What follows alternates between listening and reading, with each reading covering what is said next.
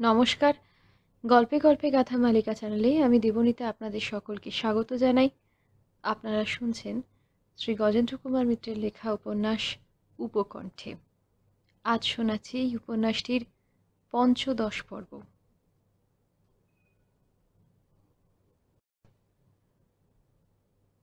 অবশেষে মহাশ্বেতাই একটি পাত্রী খুঁজে বার করে ও শ্বশুরবাড়ির সম্পর্কেই জারতুত ভাসুরের মেয়ের ননদ। জানাশোনা ঘর। মেয়েটিও নাকি ভালো। ভাসুরজি, লীলা তো প্রশংসায় পঞ্চমুখ একেবারে। কাজে, কর্মে, বিবেচনায়, ব্যবহারে সব দিক দিয়েই নাকি ঘরে আনবার মতো।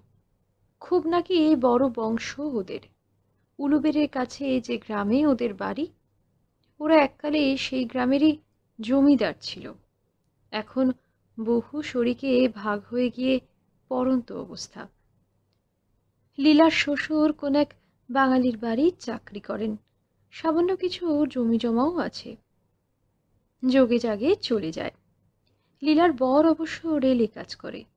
তেমনি তার নিজেরও বেশ একটি সংসার হয়ে গেছে বলতে গেলে। পাঁচটি ননদোর এইটি মেজ।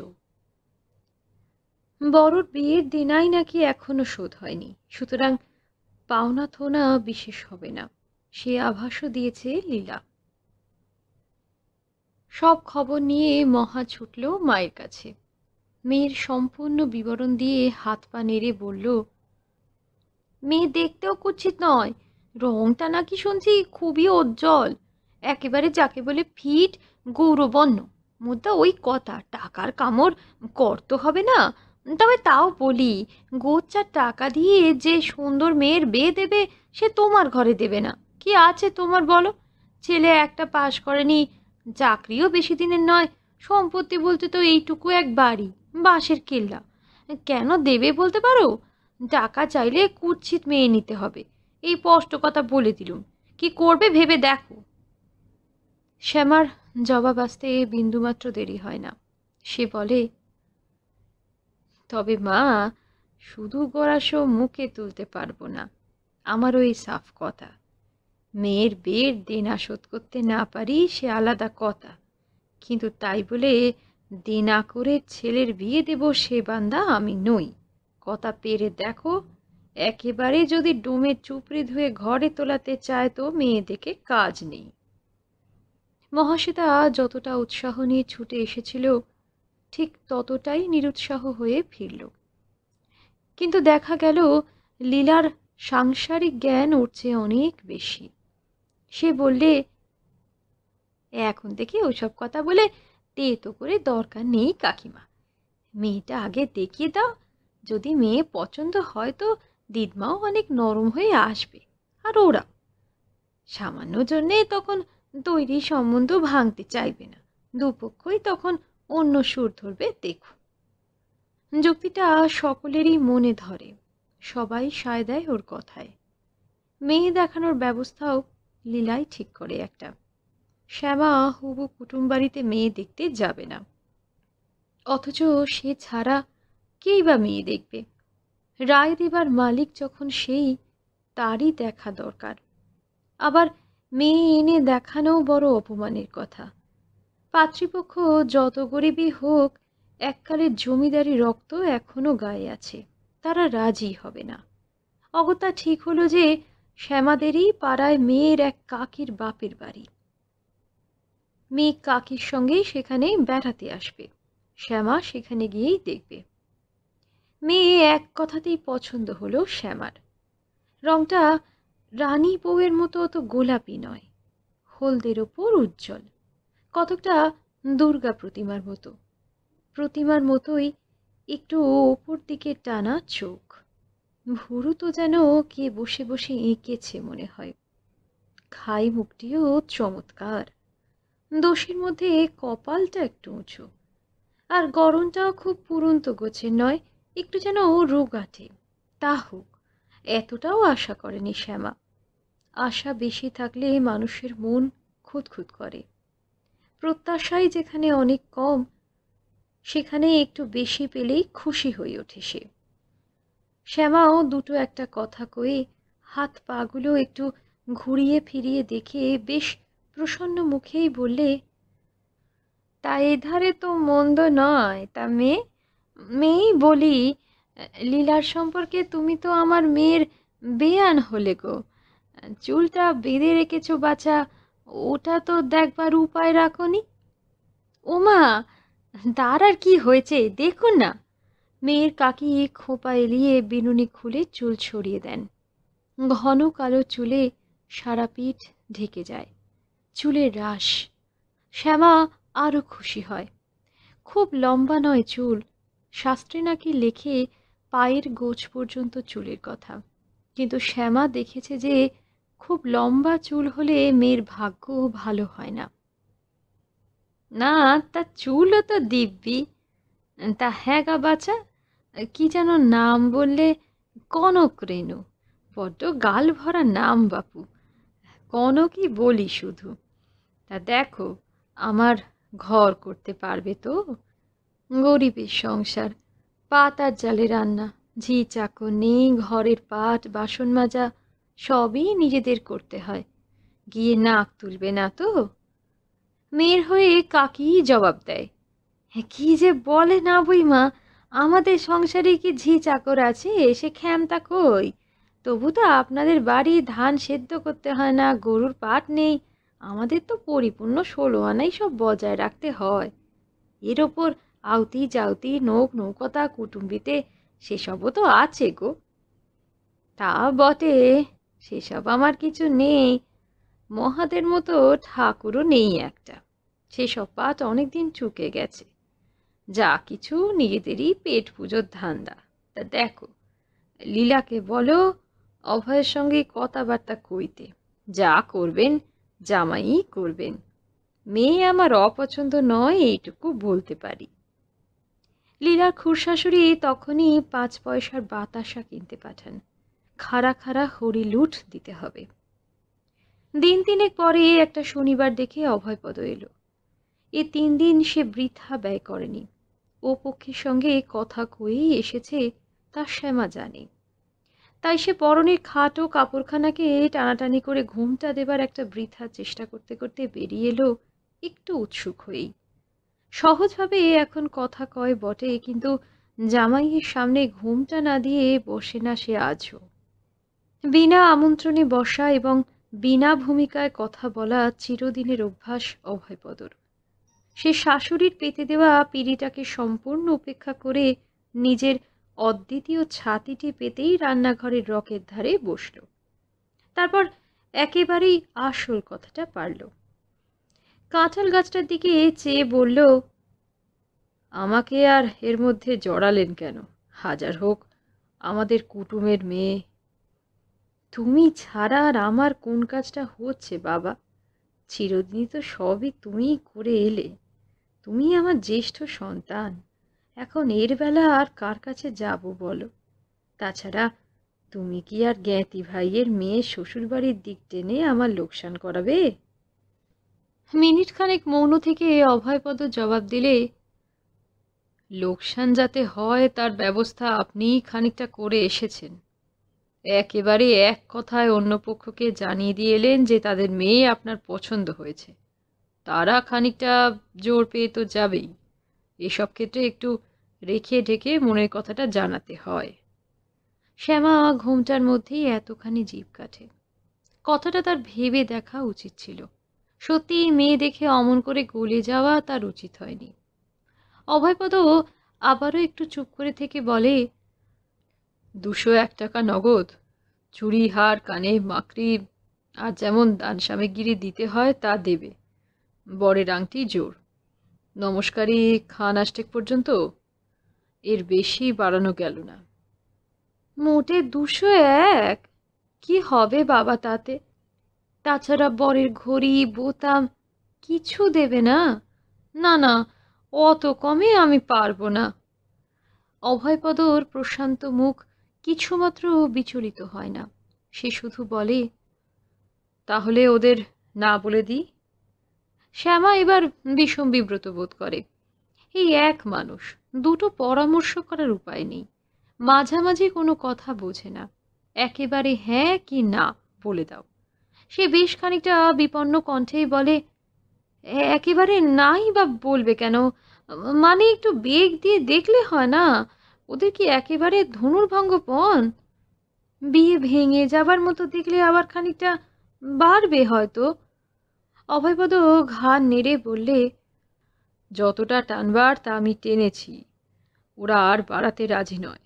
অবশ্য অবস্থা ওদের খারাপ। এর ওপর যে খুব বাড়াতে পারতো তাও মনে হয় না। এক উপায় আছে, তত্ত্ব গায়ে হলুদ ফুলসজ্জে। যদি গায়ে গায়ে কাটান দেন, তাতে আপনার খরচটা কমে একটু। তেমনি ঘরে আসবে না তো কিছু। প্রথম ছেলের বিয়ে ফুলসজ্জের তত্ত্ব আসবে না, সেটাই বা কেমন কথা। তাছাড়া একটা ভালো কাপড়, হলুদ মাখার একখানা আটপৌরে কাপড়, একটু দই মাছ, এগুলো তো পাঠাতেই হবে। লক্ষণ অলক্ষণে কথা আছে তো। তার উপর আর কটা টাকা খরচ করলেই আমার তত্ত্ব সাজানো হবে। ওদেরও ধরো, ক্ষীর মুরগির বাটি, ফুলের রেকাব মেয়ে জামাইয়ের কাপড়, এগুলো তো বাদ দিতে পারবে না। এই পর্যন্ত বলে থেমে যায় শ্যামা। বেশ একটু সাগ্রহেই জামাইয়ের মুখের দিকে চায়। অর্থাৎ এক্ষেত্রে আর কি করা যেতে পারে, কিছু একটা সৎ যুক্তি চায় সে। কিন্তু অভয়পদ সেদিক দিয়ে যায় না। শুধু নিষ্পৃহভাবে বলে, বেশ, তাহলে আপনার যা শেষ কথা বলে দিন। আর কতটা পর্যন্ত আপনি তা থেকে নামবেন তাও বলে দিন। আমি সেই মতো বুঝে না করে দেব। শ্যামা অসহায়ভাবে চারদিকে যায়। এইসব সে করেনি কখনো, ভেবেও রাখেনি। কিন্তু এই এক মনীষী, এর সঙ্গে কথা বলাও যা, দেওয়ালকে বলাও তাই। সে খানিকটা চুপ করে থেকে কতকটা প্রশ্ন করার ভঙ্গিতেই বলে, যদি নগদটা চারশো এক করতে বলি, আর বোতাম ঘুরি রাজি করাতে পারবে না? মনে তো হয় না। আমি খানিকটা চেষ্টা করেছিলাম বই কি। যা বলেছে তার উপর আর সামান্য কিছু বাড়ানো চায় অত বেশি বাড়বে না। শ্যামা চুপ করে থাকে। কি বলবে ভেবে পায় না কিছুতেই। অভয়পদ উত্তরের অপেক্ষা করে খানিকটা। তারপর বলে, তাহলে ওই কথাই বলি, আপনি যা বললেন। রাজি না হয় আবার অন্য মেয়ে খুঁজতে হবে। টাকাটা বড়ই কম। যা আশা করেছিল তার থেকে বেশ খানিকটা কম। দেনা সত্য হবেই না, বিয়ের খরচটা চালানো মুশকিল। কিন্তু মেয়েটাও বড় ভালো, বেশ ঠান্ডা ঠান্ডা, লাজুক ধরনের মেয়ে। আজকাল যেমন ঘরে ঘরে হয়েছে বেহায়া, বাচাল, পুরুষের ঘাড়ে পড়া মেয়ে, তেমন নয়। ঠিক হাতছাড়া করতেও মন চায় না। অবশেষে প্রায় মরিয়া হয়েই মনস্থির করে ফেলে সে। বলে অন্তত যদি বোতামটাও দেয় আর একশোটা টাকা নগদ বেশি, তাহলেও হয়। সেইটাই বলে দেখো না। যে আগে তাই বলব। কার বিবাহ উপলক্ষে কুণ্ঠুদের বাড়ি থেকে পাওয়া বাসি লুচি আর মন্ডা ছিল। জামাইকে জল খেতে দিল শ্যামা। কিন্তু আজ অভয়পদ কিছু খেলে না। বলে, আজকাল প্রায়ই বিকেলের দিকে একটু করে অম্বল হচ্ছে। বাসি লুচিটা আর খাব না। আচ্ছা তাহলে আসি। ছাতাটি বগলে করে বেরিয়ে গেল সে। পরের দিন অভয়পদ এলো একেবারে মেয়ের বাপ পূর্ণ মুখুজ্জে মশাইকে সঙ্গে করে। নইলে নাকি উপায় ছিল না। উনি কাল থেকে এসে তার বেআই বাড়ি অর্থাৎ অভয়পদর জ্ঞাতি দাদার বাড়ি বসে আছেন। একটা হেস্তনেস্ত না করে যাবেন না। তাছাড়া যাকে মেয়ে দেবেন তাকে এবং তার বাড়ি ঘর দেখারও একটা কৌতূহল আছে বই কি একেবারেই সব পাঠ ঝুঁকিয়ে দিতে চায় অভয়পদ। শ্যামা একটু বিব্রত বোধ করে। প্রথমত এসব কথা কওয়া তার অভ্যাস নেই। এতকাল কন্যা পক্ষের হয়ে দয়া ভিক্ষাই করে এসেছে। পাত্রপক্ষের হয়ে সে ভিক্ষা কি করে ফিরিয়ে দিতে হয় শেখেনি।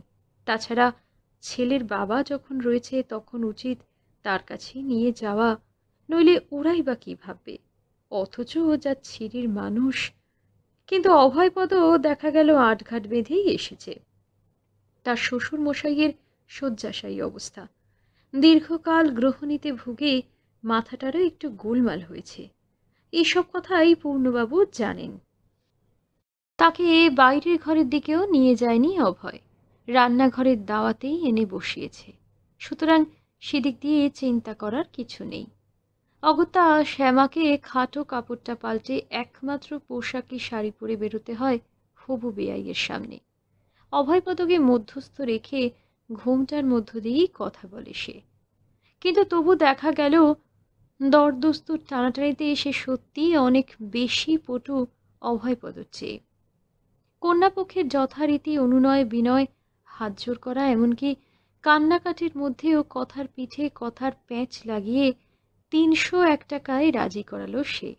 তার সঙ্গে সোনার বোতামটাও। তবে একটা কথা নিয়ে যান পূর্ণ মুখুজ্জে মশাই। গায়ে হলুদের তত্ত্বে বাহুল্য কিছু করবে না শ্যামা। কারণ ও পক্ষ থেকে তার যোগ্য ফুলশয্যা পাঠাবার ক্ষমতা নেই। এমনিতেই এতদিন যা করিনি তাই করতে হবে। খানিকটা ধান জমি ছাড়তে হবে। বছরের চালটা আসতো। তার আসবে না।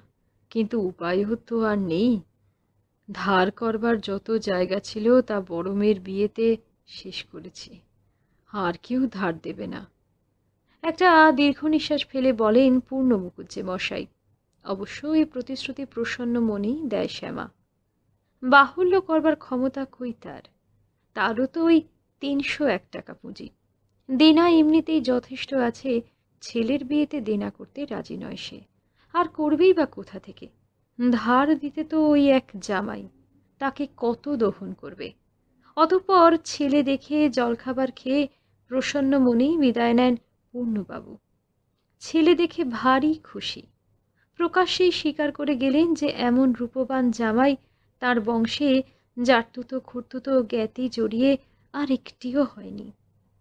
শ্যামারও মনটা অনেকদিন পরে বেশ প্রসন্ন হয়ে উঠেছে। নতুন কুটুমকে জলখাবার খাওয়াতে নগদ ছ আনা পয়সা বেরিয়ে গেল। কারণ তার সামনে জামাইকেও দিতে হলো, সেখানে কিছু স্বতন্ত্র ব্যবস্থা করা যায় না। তবু তাতেও দুঃখিত নয় শ্যামা। তার হেমের বিয়ে হবে, বউ আসবে। এই স্বপ্ন সেই যেদিন হেম ভূমিষ্ঠ হয়েছে, সেই দিন থেকেই মনের সঙ্গে জড়িয়ে আছে যে। শুধু ইদানিং চারিদিক থেকে যখন দুর্ভাগ্য ঘিরে ধরেছিল, তখন যেন আর কল্পনা করতেও সাহসে কুড়তো না, একান্ত দুরাশা বলে মনে হতো। কিন্তু আজ আর তা দুরাশা নেই, আজ তা বাস্তব। আজ তা হাতের মধ্যে এসে গেছে, এতদিনে তার সত্যিকারের সংসার হতে চলেছে। এই মুহূর্তে আরও কিছু বেশি খরচ হলেও বোধ করি দুঃখিত হতো না সে। ওরা চলে গেলে এই শ্যামা নরেনের কাছে এসে বসল। মনটা বড়ই খুশি আছে। আজ আর এটাকে সময় নষ্ট বলে মনে হলো না। নরেন বিস্মিত হলো। স্ত্রীর দর্শন প্রয়োজনের সময় ছাড়া দুর্লভ বললে আজ যে এমন অকালে সকাল বামনি, ব্যাপার কি? খোকার বিয়ে ঠিক হয়ে গেল যে, সামনের মাসের দোষটাই দিন ঠিক হলো। শ্যামা হাসি হাসি মুখে বলে, কি হলো? বে ঠিক হয়ে গেল। কার বিয়ে খোকা মানে আমাদের হেমচন্দর? বলতে বলতে এই বিষম উত্তেজিত হয়ে উঠে বসতে চেষ্টা করে, কিন্তু পারে না। আবার এলিয়ে পড়ে হাঁপাতে থাকে। হ্যাঁ তা নইলে খোকা আবার কে? কি রকম? আমার ছেলের বিয়ে আমি জানলুম না। আমার সঙ্গে কথা হলো না, বিয়ে ঠিক হয়ে গেল। বলি, ঠিকটা করলে কে? কার এত বড় হেকমত? আমি গার্জেন থাকতে আমাকে না জিজ্ঞেস করে আমার ছেলে বিয়ে ঠিক করে? বলি, কে? কে ঠিক করল তাই শুনি। সেই গোড়বেটার জাত, হারামজাদার জামাই না কি হ্যাঁ? দেখো, খবরদার জামাইকে গাল দিও না বলে দিলুম। সাত জন্ম অমন জামাইয়ের পাদক জল খেলে তবে যদি মানুষ হতে পারো। অমন জামাই পেয়েছিলে তাই সাত গোষ্ঠী তোড়ে গেল। তাও কি তুমি করেছ? নিহাত আমার বাপ মার পুণ্যের জোর ছিল, তাই ওই পাত্তরে মেয়ে দিতে পেরেছি। থাম থাম, ও তো আর লম্বা লম্বা লেকচার ছাড়তে হবে না। মোদা ও বিয়ে হবে না। নেই মাংতা বিয়ে, নেই মাংতা বউ। ঠিক করেছে। ঠিক অমনি করলেই হলো। তুই কি জানিস এর সব নিয়ম কানুন বংশ দেখতে হবে, গাই গোত্তর মিলতে হবে, দেনা পাওনা আছে, তবে তো বে ঠিক হবে। কথায় বলে, লাখ কথা না হলে বে হয় না। উনি অমনি এক কথায় বে ঠিক করে ফেললেন। এ যা, এখনই খবর ও ওসব চলবে না। বে দিতে হয়, মেয়ের বাপ এসে আমার কাছে হাত জোর করে বসুক। হুম, কত বড় গার্জেন আমার এলেন রে। ওর কাছে হাত জোর করে বসবে। তুমি কে যে তোমার কাছে মেয়ের বাপ আসবে? যে সম্পর্ক রেখেছো? না বাপের কোনো কাজ করেছ? আমি তার বাপ, মা, দুজনে কর্তব্য করে এসেছি চিরকাল। আমি কথা দিয়েছি। আমার এই ঝকমারি হয়েছিল তোমাকে খবর দিতে আসা। তুমি কি মানুষ যে মানুষের মতো কথা বুঝবে? কি? কি বললি? যত বড় মুখ না তত বড় কথা। এত বড় কথা বললি আমাকে। কি বলব, ভগবান মেরে রেখেছেন তাই। এত অঙ্গ থাকতে পা দুটোই নিয়ে নিয়েছে। নইলে নোড়া দিয়ে তোর এই বত্রিশ পাটি দাঁত ভেঙে চোপড়া করা বার করে দিতুম আচ্ছা কুচ পরোয়া নেই। এসা দিন নেই রায়গা। একবার কি উঠবো না? তখন এর সুদ শুদ্ধ যদি আদায় না করি তো? বলতে বলতে এ বোধ করি নিঃশ্বাসের অভাবে চুপ করতে হয়। আবার যখন বলতে শুরু করে তখন কণ্ঠস্বর অনেকটা কোমল শোনায়। হাতি যখন দঁকে পড়ে, ব্যাঙেও তাকে চাট মারে। কি বলব নিহাত নাতোয়ান হয়ে পড়েছি তাই। এমন করিস নি বামনি, ভালো হবে না, ধম্মে সইবে না। একটা অনাথ পঙ্গু লোককে এমন করে দু পায়ে থ্যাতলাতে নেই। বলতে বলতেই বোধ হয় একটা অসীম আত্মকরুণা বোধ করে সে। হাউভাউ করে কেঁদে ওঠে আপন মনি, কিন্তু সে কান্না শ্যামার কানে যায় না। তার অনেক আগেই সে ঘর থেকে বেরিয়ে গেছে। দামি কাপড়টা ছেড়ে আবার গুছিয়ে তুলে রাখা দরকার। পাতা রান্ডিল পড়ে আছে। সামনে এত বড় কাজ। আর তার আগে বাড়ি পরিষ্কার করতে হবে। দুটো পয়সাও দরকার। পাকা দেখা চুকে গেলে ফর্দ করতে বসতে হয়। বাজারের ফর্দ, নিমন্ত্রণের ফর্দ, সবই করতে হবে। লোক বলতে তো মা আর বেটা ওই দুটি প্রাণী। কারুর সঙ্গে একটা পরামর্শ করবে এমন কেউ নেই। অভয়পদও এসবে আসতে চায় না। মহার তো মাথারই ঠিক নেই। লোক খাওয়ানোর ফর্দ। ঘি, ময়দা, আনাজ, মাছ, দই, এ ফর্দ কত লোক হবে বললে অম্বিকাপদ করে দেবে। নিখুঁত হিসেব তার। কম বেশি কখনো হয় না। কিন্তু তার আগে কাকে কাকে এবং মোট কজনকে বলা হবে, তার ফর্দটা করা দরকার। মোটামুটি হেমের ভাষায় লিস্টিটা সহজেই হয়ে যায়। তিন ঘর কুটুম বাড়ি, পাড়া ঘরে একটি একটি সরকার বাড়ি সব। কলকাতায় গোবিন্দ, গোবিন্দর বউ, ওদের বাড়িওয়ালাদের একজন। এতকাল ওই বাড়িতে ছিল হেম, খুবই জানাশোনা দহরম মহরম, না বললে খারাপ দেখায়। সবাইকে বলাই উচিত, অন্তত একজনকে বলতেই হবে। এছাড়া ছেলের মুখের দিকে চেয়ে শ্যামা বলে তোমার বন্ধু বান্ধব কাকে কাকে বলবে, কে আছে ভেবে দেখো।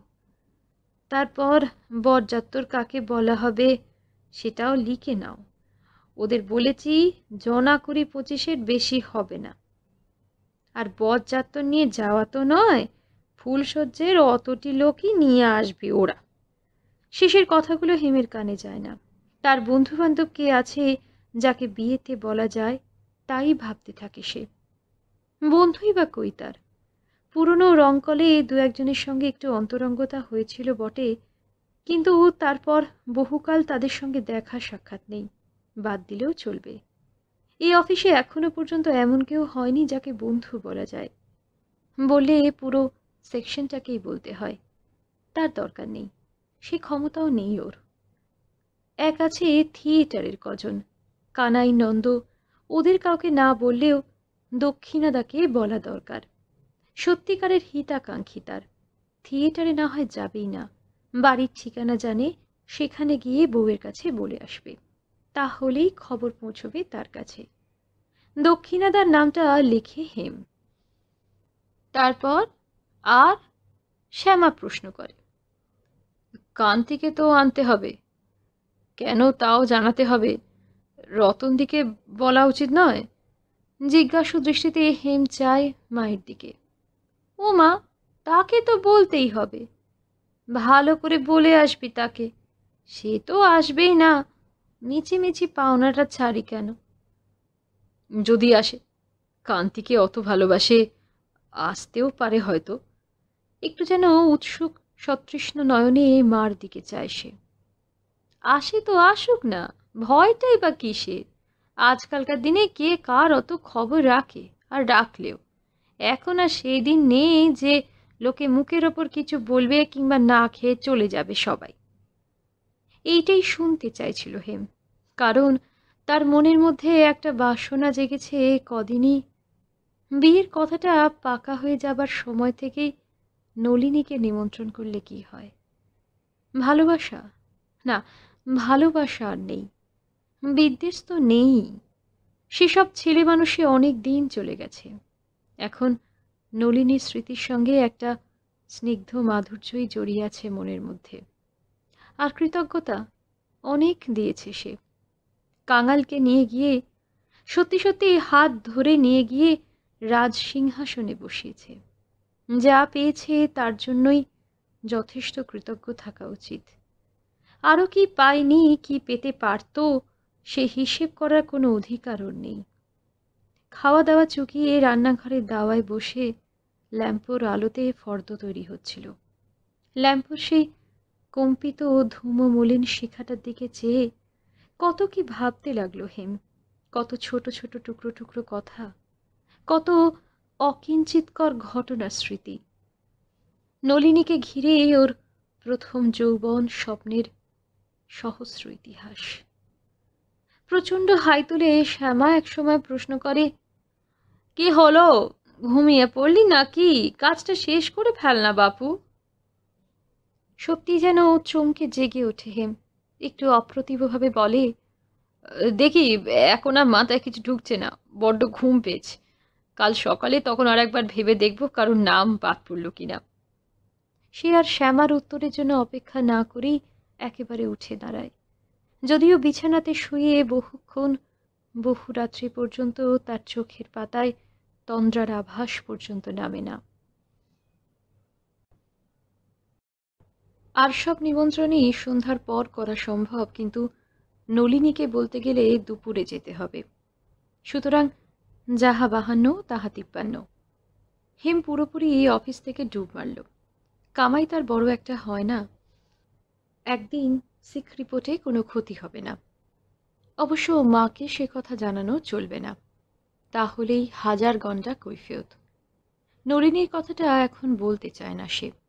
সেদিন গোলেমালে চলে যাবে। কি আর তখন খুঁটিয়ে কৈফিয়ত নিচ্ছে? সুতরাং যথারীতি ভোরবেলা খেয়েই বেরিয়ে পড়ল এবং সোজা গোবিন্দর বাড়ি উঠে সারা সকাল আড্ডা দিয়ে গোবিন্দর অফিসের বেলা করিয়ে আর একবার বড় মাসি আর রানী বৌদির সঙ্গে ভাত খেতে বসল। ওদের কাছে ও ভাঙলে না কথাটা। শুধু বললে, এমনি শরীরটা ভালো লাগল না, তাই ডুব মারলুম। বারো মাসেই তো ঠিক ঠিক হাজরে দিচ্ছি। একদিন না গেলে আর কি হবে? তবু কমলা সন্দিগ্ধ সুরে বলে, দেখিস চাকরি বাকরি নিয়ে টানাটানি হবে না তো? পাগল হয়েছো তুমি? এ কি মার্চেন্ট অফিস? রেল অফিসে অত সহজে চাকরি যায় না। গোবিন্দ গোবিন্দর বউ বিয়েতে যাবে। রানী বৌদির ইচ্ছা দুদিন আগেই যায়। মেসমশাইকে দেখবার আর তার সঙ্গে গল্প করবার জন্য প্রাণটা ছটফট করছে ওর। কিন্তু এই এক পোড়া মেয়ে পেটে এসে স্তক শত্রুতা করছে। তখন কমলা যেতে দেয়নি ভরা পোয়াতি বলে। এখনও আগে যেতে দিতে তার আপত্তি। কোলে কচি মেয়ে, সেখানে গেলে সবাইকে বিব্রত করবে, নিজেও বিব্রত হবে। ঠিক হলো যে বিয়ের দিন ভোরবেলা ওরা চলে যাবে। গায়ে হলুদের পালা চুকিয়ে ওখানেই দুটি মাছ ভাত খেয়ে ফিরে আসবে। গোবিন্দ ওকে এখানে পৌঁছে দিয়ে ফিরে আবার বরযাত্রী বেরোবে। ওরা যে ট্রেনে রওনা হবে, সেই ট্রেনেই গোবিন্দ কলকাতা থেকে উঠবে, ঠিক রইল। বৌভাতের দিন ওরা যাবে একেবারে বিকেলে। সেদিনটা কোনো মতে রাত কাটিয়ে ভোরবেলা ফিরবে। সেদিন কমলাও যাবে, কথা আছে। উমা কোনো মতেই যাবে না, তা হেমও জানে। তবু সে বলেছিল একবার, উমা তারই হাতে তার আইবুড়ো ভাতের কাপড় একখানা আর মিষ্টি বাবদ একটা টাকা দিয়ে দিয়েছে। গোবিন্দদের বাড়ি থেকে বেরিয়ে দক্ষিণাদার বাড়ি হয়ে যখন কম্বুলে টোলার সেই বিশেষ পরিচিত বাড়িটির সামনে এসে দাঁড়াল, তখন বেলা দুটো বাজে। সময়টা হিসেব করাই ছিল, কিন্তু তবু একেবারে বাড়ির সামনে এসে পড়ে থমকে দাঁড়াল। কড়াটা নাড়তে গিয়েও হাতটা সরিয়ে নিলে। এতক্ষণ একটা আবেগের বসে এসে ঝোঁকের মাথায় চলে এসেছে, সব কথা থিতিয়ে ভাবতে পারেনি। যদি নলিনী কথা না কয়, যদি এড়িয়ে চলে সেদিনের মতো? অনেকদিন পরে এসেছে এসে সত্যি কথা, কিন্তু তাতেই যে নলিনীর মত পরিবর্তন হবে তা ঠিক কি? কিংবা যদি কড়া নাড়তে কিরণের সঙ্গে দেখা হয়ে যায়? তুমি আবার কি মনে করে এদিকে এসেছ, বাবা? তোমার লজ্জা নেই? আভি নিকালই আসে। বলে চেঁচিয়ে ওঠে সে। না, থাক বরং, একবারের অপমান যথেষ্ট। সিধে গাল বাড়িয়ে চর খেতে যাবার দরকার কি? যে জীবন থেকে চলে গেছে চিরকালের মতো, তাকে আর টানাটানি করতে গিয়ে লাভ নেই। হেম ফিরে দাঁড়াল। ফিরেই যাবে সে, ডাকবে না। তবু আর একবার পিছন ফিরে বাড়িটার দিকে না চেয়ে পারল না। আর ঠিক সেই মুহূর্তে খুট করে দরজাটা খুলে গিরিধারী বেরিয়ে এলো। আসুন আসুন দাদাবাবু, ভেতরে আসুন। ফিরে যাচ্ছেন কেন? দিদিবাবু বোলাচ্ছেন আপনাকে। দিদিবাবু, কেমন করে জানলেন? স্বর্ণিগ্ধ কণ্ঠে প্রশ্ন করে হেম। জানলা দিয়ে দেখল যে অগত্যা ফিরতে হয়। সিঁড়ির মুখে দাঁড়িয়েছিল নলিনী, আগের মতো। কাছে আসতে একটু এগিয়ে এসে গলায় আঁচল দিয়ে ঢিপ করে একটা প্রণাম করে সে। ও কি ও কি, ও আবার কি? বিব্রত হেম দুপা পিছিয়ে যায় তাড়াতাড়ি। হাতটা ধরে ফেলে আটকানো উচিত ছিল কিনা ভাবতে ভাবতে আর কিছু করা হয় না। তা হোক, ব্রাহ্মণ মানুষ, একে তো কত অন্যায় করেছি। সেদিন থেকে কি জ্বালায় জ্বলছি মনে মনে তা কি বলব? এই দিনটির জন্য অপেক্ষা করেছিল। বলি, আর কোনো দিন কি একটু নিরিবিলি দেখা হবে না? মা কালীর কাছে কত মানত করেছি। যেদিন শুনলুম চাকরি ছেড়ে দিয়ে চলে গেছো, সেদিন থেকে কেঁদে বাঁচি না। বলি, আমার জন্যে বামুনের ছেলের ভাত বিক্ষে নষ্ট হলো। হে মহাপাপ রাখব কোথায়? দুপুরবেলা ভাড়াটেরা দৌড় বন্ধ করে ঘুমোচ্ছে। তবু গলা নামিয়ে ফিসফিস করেই বলছিল নলিনী। তাই সেই প্রায় বাষ্পরুদ্ধ কণ্ঠে রস্ফুট কথায় হেমের সর্বাঙ্গে যেন কাঁটা দিয়ে উঠল। চলো, চল, উপরে চলো। আমার কপাল এইখানি দাঁড় করিয়ে রেখে বকছি। হাত ধরে নিয়ে যাই ওপরে। আগের মতোই। সেই ঘর, সেই শয্যা। যেন বহুদিন আগে স্বপ্নে দেখা কোনো এক রাজ্যে ফিরে এলো সে। নেশা লাগে হেমের। কতদিন, কত রাত, কি ঐকান্তিক কামনাতেই এই ঘরে আবার ফিরতে চেয়েছে সে। অন্তত একটি বাড়ির জন্য। একেবারে নিচের ঢালা বিছানাটাতে বসিয়ে অভ্যাস মতো জামাটা খুলে নেয় নলিনী। গেঞ্জিটাও। তারপর ঠিক গা ঘেসে না হলেও কাছে এসে হাওয়া করতে বসে। তারপর, এখন কি করছ? রেলে কাজ করছি। গলায় একটু জোর দিয়েই বলে সে, হো মা, তবে তো ভালোই হয়েছে। সাপে বর, রেলের কাজ শুনেছি বেশ পয়সা। সে সব কাজে নয়, আমাদের আপিসের চাকরি, এখানে পয়সা নেই। তা হোক, বাঁধা কাজ তো, মাস কাবারে মাইনেটা হাতে পাবে। এই যা ছিঁড়ির কাজ ছিল, ঝ্যাঁটা মারো। তা তুমি সেদিন অমন করে আমাকে এড়িয়ে গেলে কেন? ছেলে মানুষের মতো প্রশ্ন করে বসে হেম। বহুদিনের নিরুদ্ধ অভিমানে এই গলাটা কেঁপে যায় ওর। সেদিনটা যে কোন দিন তা বুঝিয়ে দিতে হয় না। সেদিনের জ্বালা না হোক, ব্যথা বুঝি নলিনীরও কম ছিল না। উত্তর দিতে গিয়ে চোখে জল এসে যায় তারও। মুখ নামিয়ে ধরা গলায় বলে, যদি তোমার চোখ থাকতো তো দেখতে পেতে। আমার মতো অবস্থায় পড়লে বুঝতে। সেদিন তোমাকে এড়িয়ে গিয়ে বুঝি আমার খুব সুখ হয়েছিল। কি শাসনে যে ছিলুম তা তো জানো না। বুড়ো বয়সে সেদিন মা আমাকে ধরে মেরেছে পর্যন্ত। তার উপর ভয় দেখিয়েছিল, থিয়েটারে এসে ঘাপটি মেরে বসে থাকবে। বিষম ভয় পেয়ে গিয়েছিলুম তাই। সারা রাত সেদিন শুধু কেঁদেছি তোমার জন্যে। তাই কি চাই প্রাণ খুলে কাঁদবার জো আছে? সে মিনসে তো পাশে শুয়ে, টের পেলেই হাজারো জবাব দিহি চোখে বুঝি জল এসে যায় হেমেরও। নলিনীর মুখখানা তুলে ধরে কোচার খুঁটে মুছিয়ে দিতে ইচ্ছে করে তার চোখ দুটো। নলিনী আর সামলাতে পারেনি নিজেকে। টপ টপ করে জল ঝরে পড়েছে তার গালবে কিন্তু সাহস হলো না হেমের। নিজেরও ভেঙে পড়বার ভয়। সে অন্যদিকে মুখ ফিরিয়ে প্রসঙ্গটা পাল্টে দিলে। তা, আজ তোমার মা কোথায়? আঁচলে চোখের জল মুছে নিয়ে ধরা গলাতেই হাসির আভাস এনে বললে হুমা তা জানো না বুঝি, আমি বলি খবর নিয়েই এসেছ। মা যে আজ তিন মাস আমার সঙ্গে ঝগড়া করে কাশি গিয়ে আছে। কেন? ঝগড়া কেন? সে অনেক কথা। কি, শুনি শুনি। সাগ্রহে সামনের দিকে ঝুঁকে বসে হেম। একটু একটু করে নলিনী খুলে বলে ইতিহাসটা। দীর্ঘ কাহিনী। তার সংক্ষিপ্তসার হচ্ছে যে রমণীবাবু আর নলিনীর ঘরে আসেন না। কালো বলে যে নতুন মেয়েটা এসেছিল সখীর ব্যাচে ঢ্যাঙা ফর্সা মতো। হেম যখন ছিল, সে তখন সবে এসেছে। দর্জিপাড়ায় বাড়ি। ওর মা খুব নাম করা বাড়ি বলি। সেই মেয়েটাকে নিয়েই আছেন। অনেকদিন ধরেই ঝুঁকেছিলেন, নলিনী লক্ষ্য করেছিল ঠিকই, কিন্তু বকাবকি করলে, কান্নাকাটি করলে দিব্যি গালতেন, মিছে কথা বলতেন। দুদিন হয়তো আসতেনও ঠিক আবার ডুব মারতেন। শেষে তিতিবিরক্ত হয়ে নলিনী হাল ছেড়ে দিলে। একদিন স্পষ্ট বলে দিলে, রমণীবাবুকে যে তার আর আসবার দরকার নেই। এই নিয়ে ঝগড়া কিরণের সঙ্গে। কিরণ হাল ছাড়তে রাজি নয়। সে অনেক কিছু মতলব এঁটেছিল। মাদুলি কবচ মেয়েকে পড়িয়েছিল গোচ্ছার।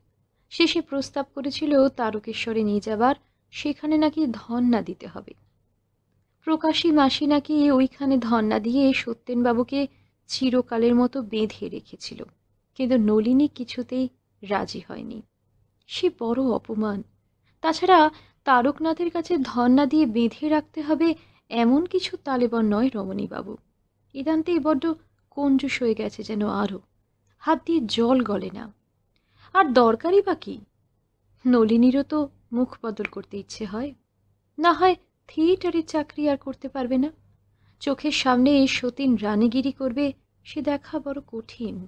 কিন্তু বাড়িটা তো আছে। যা ভাড়া পায় তাতে ট্যাক্সো খাজনা দিয়ে নুন ভাতও তো জুটবে। সেটা তো আর রমণীবাবু কেড়ে নিতে পারবে না। কিরণের সে কথা পছন্দ হয়নি। আসলে এমনভাবে হাল ছেড়ে দেওয়াটাই পছন্দ নয় তার। এক কথা দু কথায় ধুমধুমার ঝগড়া বেঁধে গিয়েছিল। নলিনীও আর রাগ সামলাতে পারেনি। বলেছিল, বেশ করব, আমার যা খুশি তাই করব। তোমার কি? আমি তোমার খাই না তুমি আমার খাও? তাইতেই অভিমান হয়েছে। কাশি চলে গেছে। বলে গেছে বিক্রি করে খাব চত্বরে খাব, অন্নপূর্ণা গলিতে আঁচল পেতে বসবো, তবু তোর অন্ন আর খাব না। তা একটু হেসে বলে, নলিনী সেখানে আমাদের জানাশোনা অনেকে তো আছে। দশ টাকা করে পাঠাচ্ছি, নিচ্ছে তো শুনছি। না নিয়ে আর কি করবে? ফিরেও আসবে তা জানি। রাগ করে কতদিন থাকবে? এখন তাহলে কার কাছে আছো? প্রশ্ন করে হেম। থিয়েটারে আর যাও না বুঝি? না সেই দিন থেকে আর যায়নি বাবু মাসকাবারের মাইনেটা পাঠিয়ে দিয়েছিল, ফিরিয়ে দিয়েছি। এখন আসেন আমাদের মুখুজ্জে মশাই। ওরই মানে রমণীবাবুরই বন্ধু, ওর সঙ্গেই আসতেন টাসতেন। অনেকদিন ধরেই ছোপ ছোপ করছিলেন, নেহাত বন্ধুর ব্যাপার বলেই কথাটা পারেননি। বাবুকে ছেড়েছি শুনেই ছুটে এসেছেন। মাইনে ওই আছে। এধারেও দায়িত্ব হয়ে মন্দ না। কামাই তো ভালো, খুব নাকি বড় চাকরি।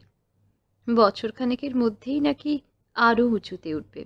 তখন এক খাস বড় সাহেব ছাড়া ওর মাথার উপর কেউ থাকবে না। এই আমি ভালোই আছি ভাই। থিয়েটারের মেহনতটা তো বেঁচে গেছে। তারপরে এ কেমন একরকম অদ্ভুত দৃষ্টিতে এই হেমের দিকে চেয়ে বলে, তা তুমি এসব জানো না, তো আজ হঠাৎ কি মনে করে এসে পড়লে? হেম রাঙা হয়ে ওঠে একেবারে। সলজ্জ হেসে বলে আমার যে বিয়ে, তোমাকে নেমন্তন্ন করতে এসেছি। বিয়ে? তোমার? হোমা, কি হবে? প্রায় চেঁচিয়ে ওঠে নলিনী। তা এতক্ষণ একটা কথা বলনি? কি চাপা লোক রে বাবা। তা বেশ, ভালোই হয়েছে। সত্যি, বয়স তো হয়েছে। এবার ঘরবাসী হওয়া দরকার। না, বড় আনন্দ হলো শুনে। কোথায় বিয়ে? কত পাচ্ছ? মেয়েটি কেমন? কত বয়স তার? মানাবে তো? একসঙ্গে একশোটা প্রশ্ন করে সে। রোসো রোসো এক এক করে বলো, তুমি যে তুবড়ি ছুটিয়ে দিলে। সংক্ষেপে এই পাত্রে তার বয়স, বাড়িঘর এবং সম্ভাব্য রূপের একটা বিবরণ দেয় হেম। নলিনী সত্যি খুশি হয়েছে মনে হলো বিয়ের কথা শুনে। ছুটে চলে গেল বাইরে। গিরিধারীকে পাঁচ রাস্তার মোড় থেকে রাজভোগ আনতে পাঠালে। ছেলে মানুষের মতো ছুটোছুটি করতে লাগল যেন। চা খাবে? খাও আজকাল। এখন মুখুজ্জে সাহেবের জন্য চায়ের পাঠ হয়েছে বাড়িতে। ওর মুহুর মুহুর চা চাই। তারপর আতিথেয়তা সারা হলে বলে, তা সত্যি নেমন্তন্ন করছ তো? যাব। কোনো কথা উঠবে না। মানে কোনো আবার ফ্যাসাতে পড়বে না তো আমার জন্যে? কি বলবে? কিছুই বলব না। বলব আলাপি লোক। বলব আমার আগের মনিবের বউ। গায়ে কি তোমার কিছু লেবেল মারা আছে? না থাকলে ভালোই। আমি কিন্তু বাবু সত্যিই যাব। গিরিধারীকে সঙ্গে করে বাবুর কাছ থেকে ছুটি নিয়ে ঠিক চলে যাব। নিশ্চয়ই যেও। স্টেশনে নেমে একটা পালকি নিও। বলো যে নতুন বামুনদের বাড়ি ঠিক নিয়ে যাবে। তুমি কি বলবে বাবুকে? হে মুখ টিপে হেসে জিজ্ঞাসা করে। নলিনী হেসে জবাব দেয়, বলব তোমার সতীনের বে, এ তো সুবিধে গো। বিয়ের নেমন্তন্নে যাচ্ছি আমোদ করতে অন্যরকম সম্পর্ক হলে কি কেউ যায়? না যেতে পারে। কিছু খারাপ ভাববে না। বলব থিয়েটারে চেনাশোনা নেমন্তন্ন করেছে। অনেক করে যেতে বলেছে। আর কিছু বলবে না। সেরকম লোক নয় সন্দেহপাই নেই। এবার উঠি তাহলে। আরও দু এক জায়গায় যেতে হবে। মুখে বলে হেম, কিন্তু তখনই ওঠে না। কি যেন একটা অপূর্ণ রয়ে যায়। কিসের জন্য যেন মনটা সতৃষ্ণ হয়ে ওঠে। যে মোহ তারা নেই বলে কিছুদিন আগেই মনকে আশ্বাস দিয়েছে, সেই পুরাতন মোহই আচ্ছন্ন করেছে তার বুদ্ধিবৃত্তিকে। পরিচিত পরিবেশ, প্রাক্তন অভিজ্ঞতার মধুর স্মৃতি জাগিয়ে তুলছে। সেই স্মৃতির রসে মন আবিষ্ট হয়ে উঠেছে। কেমন যেন একটা অস্থিরতা অনুভব করছে ভেতরে ভেতরে। বুকের মধ্যেটা কাঁপছে একটু একটু। নলিনী কিন্তু ওর কথাটাকে সহজভাবেই নিয়েছিল। সে তাড়াতাড়ি গিয়ে আলনা থেকে ওর জামা আর গেঞ্জিটা নিয়ে এসে দাঁড়াল। কি হলো? উঠবে বললে যে? নাকি একটু বসবে? হেম সে প্রশ্নের কোনো জবাব না দিয়ে ওর একটা হাত ধরে নিজের দিকে আকর্ষণ করলে। মৃদু আকর্ষণ, সুতরাং প্রস্তুত না থাকলেও হুমড়ি খেয়ে পড়বার মতো কিছু নয়। নলিনী অল্প চেষ্টাতেই সামলে নিলে নিজেকে। এ আকর্ষণের অর্থ তার অজানা নয়। সে এবার তীক্ষ্ণ দৃষ্টিতে হেমের মুখের দিকে চেয়ে দেখলে ও বিহল দৃষ্টিও সে চেনে। পুরুষের এই আকর্ষণ আর ওই বিহল দৃষ্টির অর্থ তার কাছে পরিষ্কার। সে প্রবল বেগে ঘাড় নাড়লে, না না, ছি, বিয়ে করতে যাচ্ছ, একটা ভদ্রলোকের মেয়েকে হাত ধরে ঘরে আনছ কত শিব পুজো করে কত আশা নিয়ে সে আসছে বলো দেখি। আর এসব করো না। যা করেছ করেছ। তখন কোনো দোষ ছিল না। কিন্তু এখন আর নয়। আমারও বহু জন্মের পাপ এ জন্মে ভোগ করছি। আমার সতীলক্ষ্মী বামুনের মেয়ের কাছে জেনে শুনে পাপের ভাগী হতে পারব না। কিছু মনে করো না, লক্ষ্মীটি। তুমি আজ বাড়ি যাও। ওর হাত থেকে জামা দুটো নিয়ে কোনো মতে গলাতে গলাতে বেরিয়ে আসে হেম। আজও সেই দিনকার মতো নিষ্ফল আবেগে সমস্ত শরীর কাঁপছে তার। আজও অপমানে না হোক, লজ্জায় পা দুটো তেমনই টলছে। প্রায় সেদিনের মতোই স্খলিত পদে বেরোতে হলো এই বাড়ি থেকে। তেমনি বলতে গেলে, হাতরে হাতরে। তবে সেদিন অপমানটা বাইরে, সহস্র চক্ষুর সামনে। আজ সবটাই ভেতরে। আজ আত্মগ্লানি ও আত্মধিক্কারই প্রবল। ছি ছি। নলিনী কি ভাবলে তাকে? কি ছোটই হয়ে গেল ওর কাছে। আর কি কোনো দিন ওর দিকে মুখ তুলে তাকাতে পারবে? নলিনী সদর দূর পর্যন্ত এগিয়ে দিতে এসেছিল। সে পেছন থেকে চুপি চুপি বললে, আমার উপর রাগ করে যাচ্ছ না তো, লক্ষ্মীটি? আমার অপরাধ নিও না। কথাগুলো ভেবে দেখো। হেম সে কথার জবাব দিলে না। ফিরে তাকালেও না আর। তবে সে রাগে নয়, লজ্জায়। হেমের বৌভাত উপলক্ষে শ্যামাকে আরেকটি যা কাজ করতে হলো তা তার চিরকাল মনে থাকবে। এত নিচে যে সে নামতে পারে, তা এতদিনের এত জীবনযুদ্ধের পরেও ধারণা ছিল না তার। আর বুদ্ধি বটে বড় জামাইয়ের। এ বুদ্ধি সাত বছর এক পায়ে দাঁড়িয়ে ভাবলেও তার মাথাতে আসতো না। কম করতে করতেও প্রায় সওয়াশো লোক হয়ে গেল বৌভাতে তিন মেয়ের বাড়ি, সরকারদের বাড়ি, তার উপর কুটুম বাড়ি। এই তো পুরো একশোর ধাক্কা। তাছাড়া পাড়া ঘরে একটি একটি বলতে হয়েছে। প্রথম ছেলের বিয়ে ভিন্ন পাড়ার লোকও দু একজন সে বলেছে। একটু মাতব্বর দেখে দেখে। এসেছিল অনেকেই। নলিনীও সত্যি সত্যিই এসেছিল। তবে তাকে চেনবার জো ছিল না। ভোল পাল্টে এসেছিল একেবারে। সাদা গরদের শাড়ি পরে ঘুমটা দিয়ে যখন পালকি থেকে এসে নামলো, তখন হেমও প্রথমটা চিনতে পারেনি। প্রায় সঙ্গে সঙ্গে পালকির পেছনে গিরিধারের দিকে নজর গিয়েছিল, তাই রক্ষা। নইলে হয়তো বোকার মতো প্রশ্ন করে বসত, কোথা থেকে আসছো গা পালকিওয়ালারা? অবশ্য নলিনীর আসল পরিচয় কেউ সন্দেহ না করলেও ওর ওই অতিরিক্ত সম্ভ্রান্ত বেশভূষা ও ধরন ধারণের জন্যেই বিস্ময় ও কৌতূহল উদ্রিক্ত হয়েছিল কিছু কিছু। অনেকের কাছেই জবাবদিহি করতে হয়েছিল হেমকে। বিশেষ করে সোনার মাকড়ি দিয়ে বউয়ের মুখ দেখার ফলে আরও চাঞ্চল্য। এটি কে গা হেম? ঠিক চিনতে পারলাম না তো? হ্যাঁ হ্যাঁ হেমচন্দ্র, উনি মানে তোমার কুটুম বাড়ি কেউ নাকি? এক একজন এক একবার ডেকে ডেকে প্রশ্ন করেন। সকলকেই এক উত্তর দিয়েছিল হেম, আমার পুরনো মনিবের স্ত্রী, তিনি আসতে পারেননি, উনি একাই চলে এসেছেন, আমাকে খুব স্নেহ করেন কি না? কিন্তু প্রত্যেকবারই কান মাথা গরম হয়ে উঠেছে তার, লজ্জায় ঝাঁঝা করেছে মাথার মধ্যে। সবচেয়ে বিপদে পড়েছিল প্রমীলাকে নিয়ে। তার চোখ যেন অন্তর্ভেদী, মুচকি হেসে প্রশ্ন করেছিল, তা হ্যাঁ দাদা তোমার মনিবগিন্নির তো নোয়া এক গাছা আছে দেখছি সোনা বাঁধানো। কিন্তু শীতের সিঁদুর কি হলো? এক মুহূর্তে ঘেমে উঠেছিল হেম। ঠিক কোনো উত্তর যোগায়নি ভাগ্যে সেখানে মহা দাঁড়িয়েছিল সে বোকার মতো জবাব দিলে, পড়তে নেই হয়তো কদিন, মাথা ময়লা হয়েছে। বেঁচে গেল হেম। বলে, সত্যি, এসব কথা আমাকে জিজ্ঞাসা করছ কেন মেজদি? মেইলি ব্যাপারের আমি কি জানি? কিন্তু প্রমীলাও ছাড়বার পাত্রী নয়। সোজা হেমের চোখের দিকে তাকিয়ে প্রশ্ন করেছিল, ওকে জিজ্ঞাসা করব নাকি? করো না। কিছু দোষের হবে না? তা জানি না। বুঝে দেখো। সেখান থেকে এই সরে পড়েছিল হেম। কে জানি, যা মেয়ে, হয়তো কি অপমানই না করে বসবে? হয়তো জানাজানি হয়ে যাবে। কিন্তু প্রমীলা আর একটু বাঁকা হেসেছিল শুধু। এক ফাঁকে একটু নিভৃতে দেখা হতে হেমি বলেছিল, একজন জিজ্ঞেস করছে, সিঁথিতে সিঁদুর নেই কেন? নলিনী প্রস্তুত হয়ে এসেছে। বললে, হুমা, সিঁদুর বাঁধা রেখেছি যে, ওর অসুখের মানসিক? বলে হাসল সে, একটু অপ্রতিভ হাসি।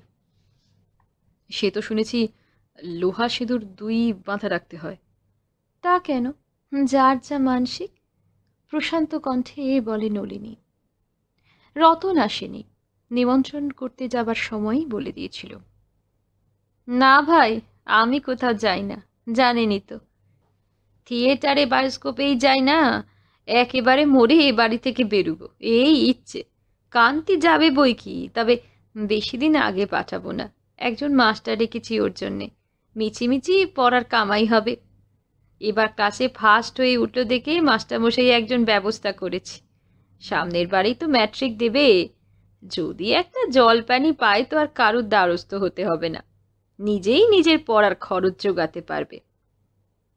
মাস্টার রাখার খবরটা এরা কেউ জানতো না। শুনে শ্যামার মন খারাপও হয়ে গেল যেমনই। তেমনি এই নতুন একটা আশাও মনের সংগোপনে উঁকি মারতে লাগল। ছেলে যেন বড্ড পর হয়ে যাচ্ছে। বড়লোক ঘেঁষাও হয়ে যাচ্ছে হয়তো। এরপর কি আর ওদের ঘরে বাস করতে পারবে? শাক, ডাঁটা, ডুমুর, সরসরি ভাত কি মুখে রুজবে? তাছাড়া জলপানি পেয়ে যদি আরও পরে তো চাকরি বাকরি বা কী করে করবে? শ্যামা কি চিরকাল এই দুঃখের পেছনে দাঁড় দিয়ে বেড়াবে? অথচ সেই সঙ্গে একটা অত্যন্ত গোপন দুরাশা, একটা সুদূর কল্পনাও মনে জাগছে। এত যখন করেছে তখন নিশ্চয়ই ভালোবাসে কান্তিকে। ওর তো ছেলেপুলে নেই, অগাধ ঐশ্বর্য লোকে বলে, কে জানে? মা সিদ্ধেশ্বরী যদি মুখ তুলে চান, ওকেও দিয়ে যেতে পারে হয়তো। বিয়ের দিন সকালে দারোয়ান এসে কান্তিকে পৌঁছে দিয়ে গেল। তার সঙ্গে একখানা দামি দেশি ধুতি, এক থালা গোলাপছাপ সন্দেশ আর একটা সোনা বাঁধানো চিরুনি বইয়ের জন্য। কিন্তু সেটাও তত বিস্ময় সৃষ্টি করতে পারল না যতটা করল কান্তি নিজে। ছেলেকে দেখে সবাই অবাক। কেউ যেন চিনতেই পারে না, যেমন ঢ্যাঙা হয়েছে, তেমনই সুন্দর। শুভ্র গৌরবর্ণ, আয়ত চোখ দীর্ঘ পক্ষ গোলাপের পাপড়ির মতো ঠোঁটের ওপরে সামান্য একটু গোফের আভাস। কচি কিস্যলয়ের মতো। দেখলে চোখ ফেরানো যায় না। আর বেশভূষাই বা কি? চুনট করা দেশি কাপড়, সিল্কের পাঞ্জাবি, পাম্পসু জুতো, আঙুলে একটা শিল আংটি, ফুলবাবু একেবারে। সকলের সব প্রশ্ন ও সবিস্ময় মিলিত দৃষ্টির সামনেই দাঁড়িয়ে ঘেমে ওঠে কান্তি। তার যেন কেমন লজ্জা করতে থাকে। হেম পর্যন্ত একটা স শব্দ করে ওঠে। মাকে বলে, কি সুন্দর চেহারা হয়েছে মা কান্তিটার, যেন রাজপুত্র না? এই উপমাটাই বারবার মনে হচ্ছিল শ্যামার। রাজপুত্র ছাড়া আর কিছু মনে পড়ে না কান্তিকে দেখলে। রূপকথার রাজপুত্র একেবারে। আনন্দে তার চোখে জল এসে গিয়েছিল। তার গর্ভের কোনো সন্তানই তো ফেলনা নয়, সবাই সুন্দর। ঐন্দ্রিলা আর কান্তির তো কথাই নেই। ওদের বাপু ওই বয়সে রংটাই যা খুব উজ্জ্বল ছিল না, কিন্তু মুখ চোখ ওই কান্তির মতোই ছিল ঠিক। আজও সেই প্রথম চার চোখে চাওয়ার কথা মনে হলে কীরকম করতে থাকে বুকের মধ্যে। সেই মানুষ বদ স্বভাবের গুণে ঘুরে ঘুরে আর অত্যাচার করে করে কি পোড়া কাঠি হয়ে গেল। আর সে নিজেও, তার রূপটাই কি সোজা ছিল? সেই রূপ, সেই রংটাই তো পেয়েছে ওরা। আজ আর কিছুই নেই তার, একেবারে ঘুঁটে করুনি কাকতারানি হয়ে গেছে। আজ কান্তির মা বলে পরিচয় দিতে লজ্জা হয় তার। কে জানে ওদের লজ্জা হয় কিনা? কান্তি ওদের চোখ এড়াতেই বাবার ঘরে গিয়ে দাঁড়িয়েছিল। নরেনও ওকে চিনতে পারেনি। অনেকটা ভ্রু কুচকে চেয়ে থেকে জিজ্ঞাসা করেছিল, কে বাবাজি তুমি? চিনতে পারলুম না তো। তুমি বুঝি আমার হেমচন্দ্রের শালা? লজ্জার উপর লজ্জা।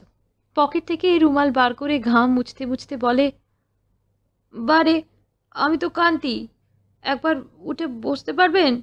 পায়ের ধুলো নেব। কে? কা? ও, আমাদের কান্তি আরে, এই যে নবকার্তিক একেবারে। ময়ূরে গিয়ে চড়ে বসলেই তো হয়। বাহ, এমন সাজালে কে? সেই কষবি মাগি বুঝি। আর কি, নজরে পড়ে গিয়েছিস দেখছি। চেপে চুপে থাক, দিন কিনে নিতে পারবি। উহ আবার রুমালে খসবো? বাবু আনা কিছু বাকি নেই। হবে হবে, ও বয়সে ওই, এ বয়সে এই। আমিও বাবু ছিলুম বই কি এককালে। তবে এমন মালদার কারও নজরে পড়তে পারিনি এই যা। আমার কপালে জুটেছিল যত খোলার ঘরের মাগি। কান্তি প্রণাম করা হয় না। সেখান থেকে ছুটে পালায়। লজ্জায় আঙার হয়ে উঠেছে তার কানের ডগাগুলো। মুখে কে যেন মুঠো মুঠো আবির ঠেলে দিয়েছে। ঝকমারি হয়েছিল তার বাবাকে ঘাঁটাতে আসা। জেনে শুনেও আসাটা তার উচিত হয়নি। অবশেষে রান্নাঘরে গিয়ে দাঁড়াতে শ্যামা একটু অবসর পায় প্রশ্নটা করবার। হ্যাঁ রে, তো রতনদি তোকে খুব ভালোবাসে না? এসব কবে কিনে দিল রে? কী সব? এই কাপড় জামা? দাদা যেদিন বলে এসেছিল, সেই দিনই দর্জিকে ডেকে পাঠিয়ে জামার মাপ দিয়েছে। ভালো হয়ে থাকিস বাপু, মন দিয়ে লেখাপড়া করিস। কত খরচ করছে বল দেখি। আবার তো শুনছি মাস্টার রেখে দিয়েছে একজন। হ্যাঁ বারণ করলুম কত করে শুনলে না। এত লজ্জা করে। তাই কি কম? পনেরো টাকা মাইনে নেন মাস্টার মশাই অন্য কোনো স্কুলে মাস্টার একজন। কি যে চাপলো, খরচার ভূতে পেয়েছে যেন। ভালোই তো। এর আর ভূতে পাওয়া পাই কি? ভগবানের ইচ্ছে আছে ঢের, তোকে ভালোবাসে, খরচ করছে। মানুষ হয়ে যদি উঠিস কোনো দিন ওকে দেখিস, এই কথাটা ভুলিসনি। তারপরেই আবার একবার ছেলের আপাদমস্তক দেখে নিয়ে শ্যামা বলে, তা তুই তো সেজেছিসও খুব ভালো, একেবারে বাবুদের মতোই। এমন কাপড় পরতে শিখলি কোথায়? এ তো রতনদীর নিজে হাতে পরিয়ে দিলেন আসবার সময়। বলতে বলতে এই কান্তির সুগৌর মুখ আবারও আবির রাঙা হয়ে ওঠে। শ্যামা বলে, তাই নাকি? তাহলে তোর মায়ায় খুব জড়িয়ে পড়েছে বল। আহা, নিজের একটা নেই তো। ছেলের মতোই দেখে আর কি। একটা নিঃশ্বাস ফেলে সে। সেটা তৃপ্তির কি ঈর্ষার, তা বোধহয় নিজেও বোঝে না। কিন্তু সেসব কথা কান্তির কানে যায় না। তার হঠাৎ একটা কথা মনে পড়ে যায়। কাপড় পরিয়ে দেওয়াটা আজ নতুন নয় অবশ্য। আজকাল প্রায়ই স্কুলে যাবার সময় রতনকে কাপড়, জামা পরিয়ে চুল আঁচড়ে বই, খাতা গুছিয়ে দেয়। দাদির আবার তাতে একটু রাগ হয়, তা এমনকি কান্তিও বোঝে। মুখে যদিও বলে, ভালো তোমাকে বরাবরই বাসে, দিদি, কিন্তু এদান্তে যেন বড্ড মায়ায় জড়িয়ে পড়েছে। তা তুমিও যে বড্ড নিপাট ভালো মানুষ। ভালোবাসা আদায় করবার ওই তো কৌশল কি না? এমনই ধারা ছেলের ওপরই মায়া পড়েছে তার জন্যে নয়, আজ আসবার সময় যা কাণ্ড করলে রতনদি কাপড় জামা পরিয়ে মাথা আঁচড়ে নিজের আঁচল দিয়ে মুখের তেল তেল ভাবটা মুছিয়ে দিয়ে দুটো কাঁধ ধরে যেন খানিকটা দূরে দাঁড় করিয়ে এক দৃষ্টে চেয়ে রইল ওর দিকে। তারপর আবার একটু কাছে টেনে দাড়ির কাছে দুটো আঙুল দিয়ে মুখটা তুলে ধরে বললে, সত্যি তোকে যেন মনে হচ্ছে কোনো রাজপুত্র। পক্ষীরাজ ঘোড়ায় চেপে কোনো রাজকন্যাকে আনতে যাচ্ছিস। আমার কিন্তু ছাড়তে ইচ্ছে করছে না। তারপর যা কোনোদিন করে না রতনদি, সুগভীর স্নেহে ওকে একটি চুমু খেয়ে যেন শিউরে উঠে ঠেলে সরিয়ে দেয় খানিকটা। কতটা আপন মনেই বলে ওঠে, না না, গরিব বামুনের ছেলে তুই। তোকে যে মানুষ হতে হবে রাজকন্যের ভাত ভালো নয়। আর এমনি সাজিসনি তুই, এসব ভালো নয় ভালো নয়। বারে, যেন কান্তিই সাজবার কথা বলেছে, ভালো জামার আবদার ধরেছে। আর কোনোদিন সাজবে না সে, রতন্তি বললেও সাজবে না। ঐন্দ্রিলা বিয়ের খবর পেয়েই চলে এসেছিল। ওখানে যে সে আর টিকতে পারছে না, তা অন্য লোকের মুখে আগেই শুনেছে শ্যামা। সে জানতো যে এবার একদিন মান খুইয়ে নিজেকেই ফিরতে হবে। ওখানে হরিনাথের মা একটু সেরে উঠেছেন। বাইরে বেরোতেও পারছেন, দেয়াল ধরে ধরে বসে বসে যা কাজ, তা তো অনেকটাই করে দিচ্ছেন। সুতরাং তারও প্রয়োজন কমেছে। এরও স্বভাব নিজের উগ্রমূর্তি ধারণ করেছে। আগে সকলে গরজে সহ্য করত মেজাজ। এখন করে না। ফলে খিটিমিটি বাধ্যে বাধ্যে একেবারে ডাকাত পরা ঝগড়া শুরু হয়ে গেছে। দুদিন পরে অপমান হয়ে বেরোতে হতো হয়তো, হেম গিয়ে পড়তে বেঁচে গেল দুপক্ষই। ঐন্দ্রিলা পরের দিনই চলে এলো। ওরাও আর ধরে রাখবার চেষ্টা করলে না, কিংবা কবে ফিরবে তাও প্রশ্ন করলে না। যাই হোক, এখানে এসে বোধহয় অনেক দিন পরে কতকটা নতুনের মতো বলেই সে খাটছিল খুব। বলতে গেলে বেঁচে গিয়েছিল শ্যামা ওকে পেয়ে। ঘরদোর সাফ করা, কাচাকুচি, এতগুলি লোকের রান্না, চার চালের ভার তুলে নিয়েছিল মাথায়। বউ আসবার পর থেকেই আবার কোথায় কি মাথার মধ্যে গোলমাল বেঁধেছে। রাগ রাগ ভাব। বৌভাতের দিন সকালে সেটাই চরমে উঠল। একেবারে অসহযোগ। শ্যামা চোখে অন্ধকার দেখলে। হালুইকর বামুন এসেছে মোটে একজন। অভয়পদ যথারীতি তাকে জোগাড় দিচ্ছে। তার দ্বারা বাড়ির রান্নার কোনো সুসার হবে না। অথচ এদিকে তো লোক কম নয়। এসব করে কে? পাঁচ ব্যঞ্জন ভাত বইয়ের হাতে তুলে দিতে হবে। তার একটু নিমরক্ষে পায়েস চাই, কলার বড়া চাই। তরুকে সে কখনো করতে দেয়নি এসব কাজ। অভ্যস্ত নয়। মহার রান্না অভ্যাস আছে খুব, কিন্তু তার কোলের ছেলেটা কদিন ধরে ভুগছে। তাকেই বা কে দেখে? ছেলেটাকে কেউ নিলেই সে করতে পারত। নেয় কে? অগতা শ্যামা যুদ্ধের দিকে না গিয়ে সন্ধির দিকে গেল। হাতে পায়ে ধরে অজ্ঞাত এবং সম্ভবত অকৃত অপরাধের জন্য ক্ষমা প্রার্থনা করে কোনো মতে কাজে লাগালো তাকে আবার। কিন্তু সে আগুন একেবারে নেভেনি, ছাই চাপা পড়েছিল মাত্র। হঠাৎ আবার সন্ধ্যের দিকে ধুমায়িত হয়ে উঠল। কিন্তু তখন কুটুম্ব সাক্ষাৎ এসে পড়েছে। ওইটুকু বাড়িতে লোক গিসগিস করছে। তখন আর ওর মান ভাঙাবার সময় নেই। সে চেষ্টাও করলে না, শ্যামা। শুধু সবাইকে এ টিপে দিলে, ওকে কেউ না ঘাঁটায়। কর্মবাড়িতে এ কেলেঙ্কারি হওয়া ঠিক নয়। সেই মেজাজেই ছিল সে। কিন্তু এক সময় বোধহয় আবিষ্কার করলে যে সবাই তাকে এড়িয়ে চলছে। আর যাই হোক, বোকা নয় ঐন্দ্রিলা এমন এক ঘরে হয়ে থাকার অর্থটা সকলের চোখে পড়বে হয়তো নতুন কুটুমদেরও। কি মনে করবে তারা? ঝগড়াঝাটি বদনাম তো আছেই, সেটা এবার হয়তো সেখান পর্যন্ত ছড়িয়ে পড়বে, আর সে বড় অপমানের কথা হবে। তাই বুঝেই হঠাৎ যেন আবার সক্রিয় হয়ে উঠল সে, এবং নিজে যেচে সেধে কাজকর্ম হাতে তুলে নিতে লাগল। কন্যাপক্ষের মেয়েদের আদর, আপ্যায়ন, রসিকতা কোনোটাই বাদ গেল না। শুধু তাই নয়, মেয়েদের খাওয়ানোর সময় পরিবেশন করার ভার একার উপরে তুলে নিলে। আর সেই অতি সক্রিয়তার সময় ছুটোছুটি করতে গিয়ে পা পিছলে পড়ে গেল দাওয়ার নিচেটায়, যেখানে মাটির গেলাসগুলো ধুয়ে উপর করে রাখা হয়েছিল একেবারে তার উপর। ফলে অবশিষ্ট সমস্ত গেলাসগুলোই ভেঙে গুঁড়ো গুঁড়ো হয়ে গেল। ভাগ্যে তখন পরিবেশন করে খালি একটা গামলা হাতে ফিরছিল, নইলে তরকারি কম পড়ে যেত, কারণ সবটাই মাপা ওদের। কিন্তু লোকসান যা হলো তাও কম নয়। তখন রাত দশটা বেজে গেছে। এখানে আরে বস্তু পাওয়ার কোনো সম্ভাবনা নেই, অথচ তখনও কমপক্ষে পঞ্চাশ জন লোক বাকি। যার পণ্যায় কুটুমবাড়ির পুরুষরাই বাকি। স্থান সংকীর্ণতার জন্য অল্প অল্প করে লোক বসানো হয়েছিল। শব্দ পেয়ে ছুটে এলো অনেকেই। হেমে এসে হাত ধরে তুললে। হেমের ইঙ্গিতেই লোকসানটার কথা কেউ উচ্চবাচ্য করলে না। ঐন্দ্রিলা এমনিতেই যথেষ্ট অপ্রস্তুত হয়েছে, কিন্তু ক্ষতিটা নিয়ে বেশি আলোচনা করলে হয়তো এখনই ভিন্ন মূর্তি ধারণ করবে। কুটুমরা থাকতে থাকতে অন্তত চেঁচামেচি হওয়া ঠিক নয়, তাছাড়া লেগেছেও খুব। সোজা হয়ে দাঁড়াতে পারছে না সে। হয়তো কেটে কুটেও গেছে।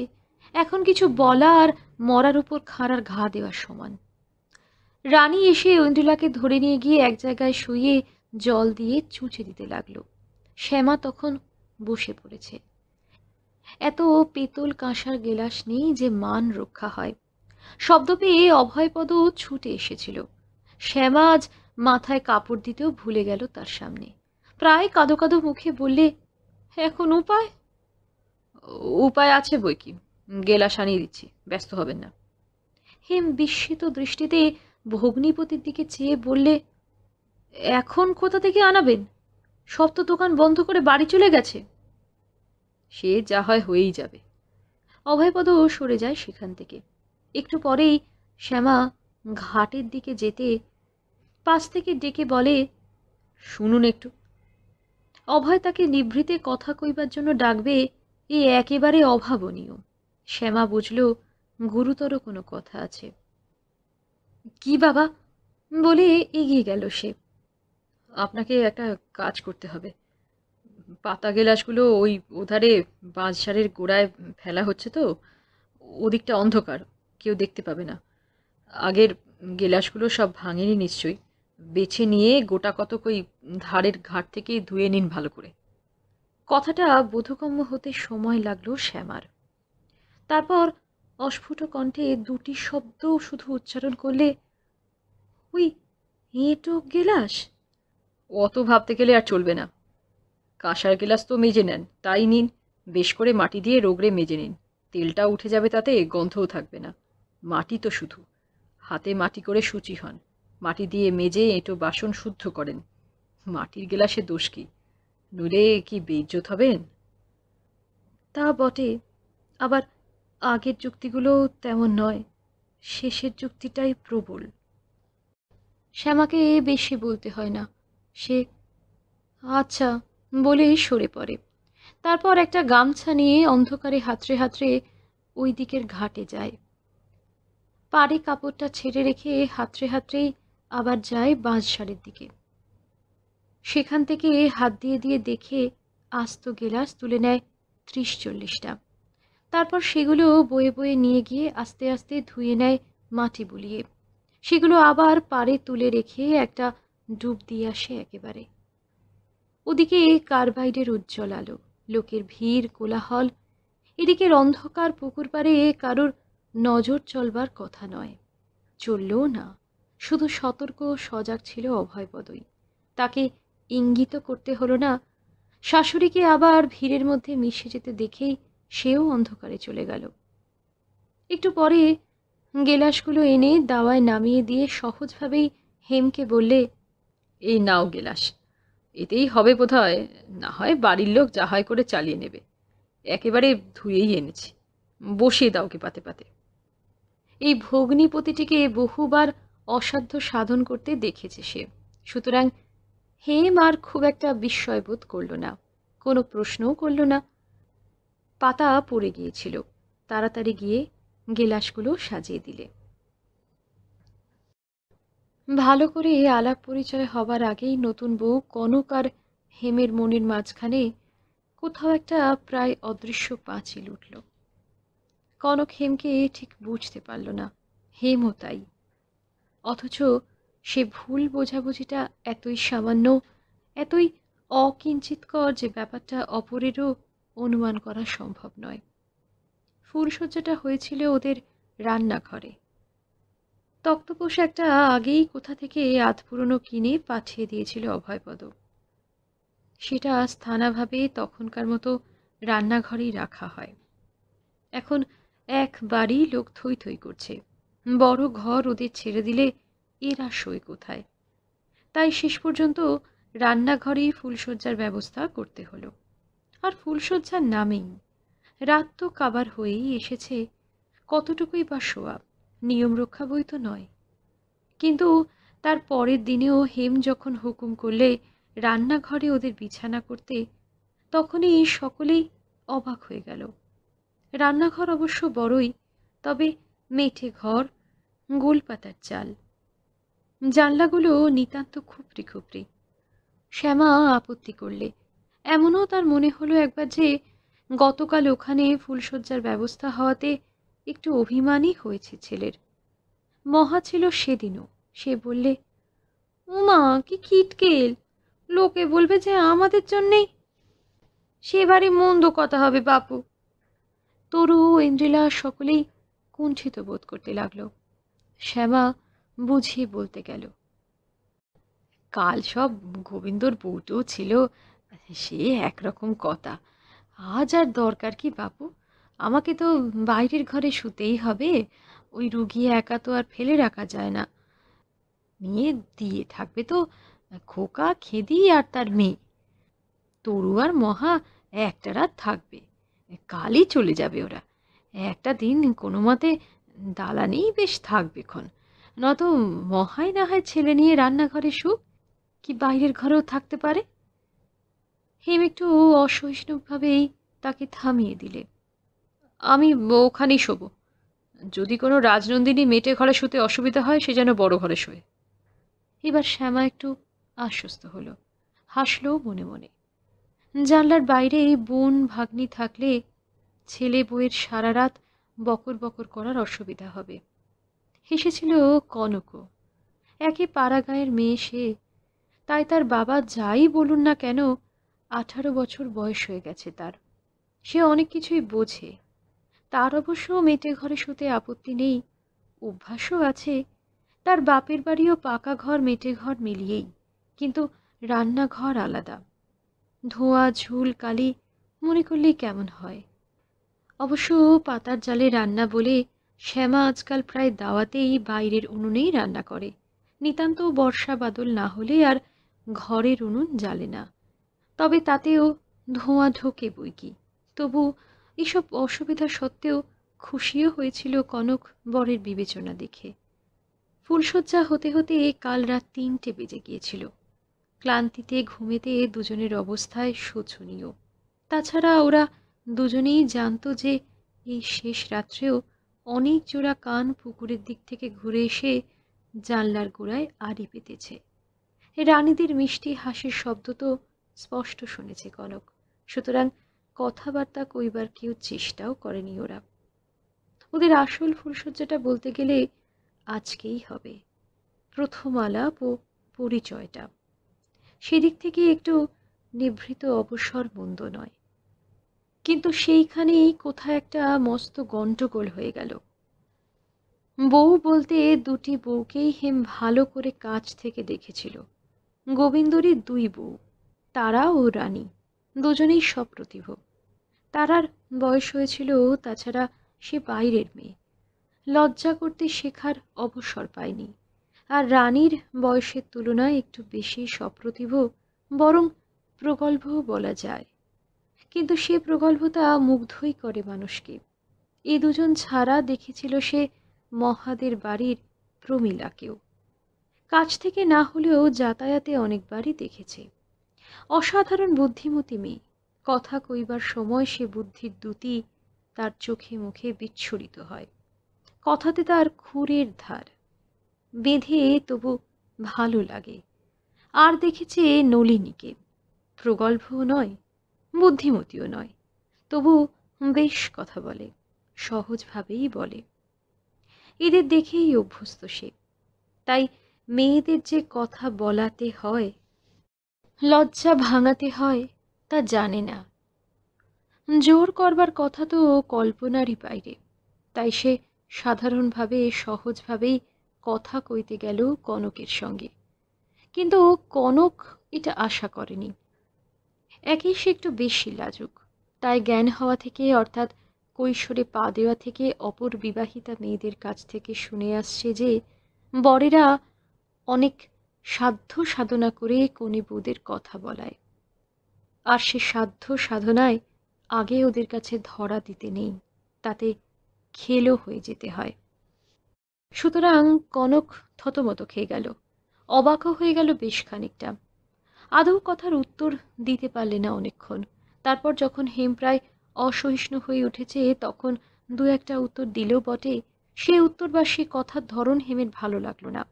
সে সংক্ষিপ্ত উত্তরের মধ্যে কনকের বিস্ময় বিহ্বলতা, এতদিনের স্বপ্নে রূঢ় আঘাত লাগার বিমূরতা এবং কিছুটা আশাভঙ্গের বেদনা অনুভব করার মতো শিক্ষা বা অভিজ্ঞতা হেমের ছিল না। অপর কোনো নববিবাহিত বন্ধুর সঙ্গে এই ধরনের সরস আলোচনা করা তার ভাগ্যে কোনোদিনই হয়ে ওঠেনি। সুতরাং কনকের সহজভাবে কথা বলার সাময়িক অক্ষমতাকে স্থায়ী অক্ষমতা মনে করলে সে। তারও মন বিগড়ে গেল। ওদের সে প্রথম পরিচয়ের ধরনটা একটু নমুনা থেকেই বোঝা যাবে। হঠাৎ এক সময় হেম জিজ্ঞাসা করলে, তোমার বয়স কত? কনক নির্বাক, কি হলো? বয়সটাও জানো না নাকি? অনেকগুলো উত্তর মনের মধ্যে গলার কাছে ঠেলাঠেলি করছিল। বলতে পারতো যে, জানব না কেন। কি বললে তুমি খুশি হবে, সেইটাই যে জানি না। অথবা পাল্টা প্রশ্ন করতে পারতো যে, কেন বলো দেখি বয়স জেনে তবে ভালোবাসবে? বলতে পারতো যে কোন বয়সটা তোমার পছন্দ বলে দাও, আমি সেই বয়সেরই। কিন্তু হেমের ওই কাট কাট প্রশ্নের ধরনে কিছুই বলা হলো না। বলা হলো না কনকের রসের অভাবে নয়, সে রসের উৎসে পৌঁছতে পারার অক্ষমতার জন্য। ভালো পার্শ্বের হাতের আঘাত না খেলে খেজুর গাছ রস দেয় না। বাছুরি না ঢু মারলে গরুরও দুধ বেরোয় না। সুতরাং অসহিষ্ণু ধমকে কনকের কথা কণ্ঠেই রয়ে গেল। কোনো মতেই শুধু ঢোক গিলে বললে, সতেরো পূর্ণ হয়েছে। তবে তোমার বাবা কমিয়ে বললেন কেন? তিনি কি মনে করলেন কোনের বয়স কম জানলে আমি আহ্লাদে আটখানা হব? এ কথার জবাব নেই। কিন্তু হেম আরও খোঁচায়। কি বাকি হরে গেল যে? আমি কি কচি খোকা যে কম বয়স না হলে বিয়ে হতো না? আমার ঢের বয়স হয়ে গেছে। আরও বুড়ো মেয়ে হলেও আমার চলতো। কনক শুনেই যায়, এর উত্তর কি দেবে? কিন্তু হেমি আবার খুঁচিয়ে তোলে কথাটা। কি? বাপের নিন্দে শুনেই রাগ হয়ে গেল বুঝি? যার মেয়ের এত আত্মসম্মান জ্ঞান, তার অমন জল জ্যান্ত মিছে কথা বলাটা ঠিক হয়নি। অগত্যা মুখ খুলতে হয় কনককে। সে জড়িয়ে জড়িয়ে থতিয়ে থতিয়ে বলে, বাবা, কেন কিসের জন্যে কি বলেছেন?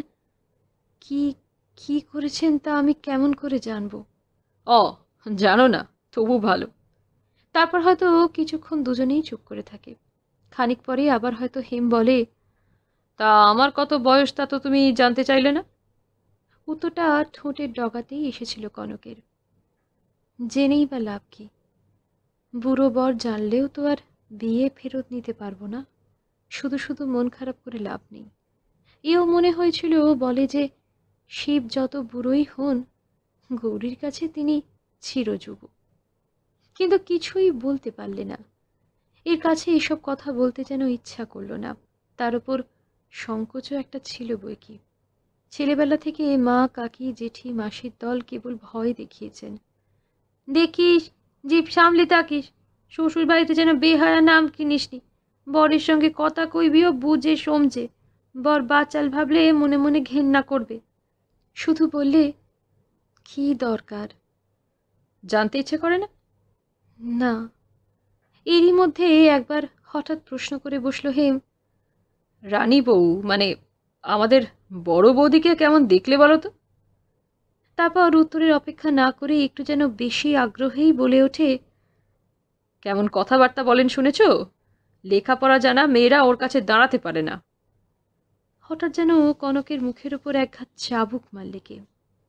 এতক্ষণের সমস্ত প্রশ্নের সঙ্গে এই প্রশ্নের যে তফাত আছে, এতক্ষণকার প্রশ্নের ধরনে যে নিষ্পৃহতা ঔদাসীন্য এমনকি বিতৃষ্ণার ভাব ছিল, এই প্রশ্নে যে তার কিছুই নেই, বরং আগ্রহে, আকুলতায় এই কিছুক্ষণ আগেকার কঠিন কণ্ঠস্বরও যেন কি এক জাদুমন্ত্রে মধুর হয়ে উঠেছে, সেটা তার মনে নজর এড়ালো না।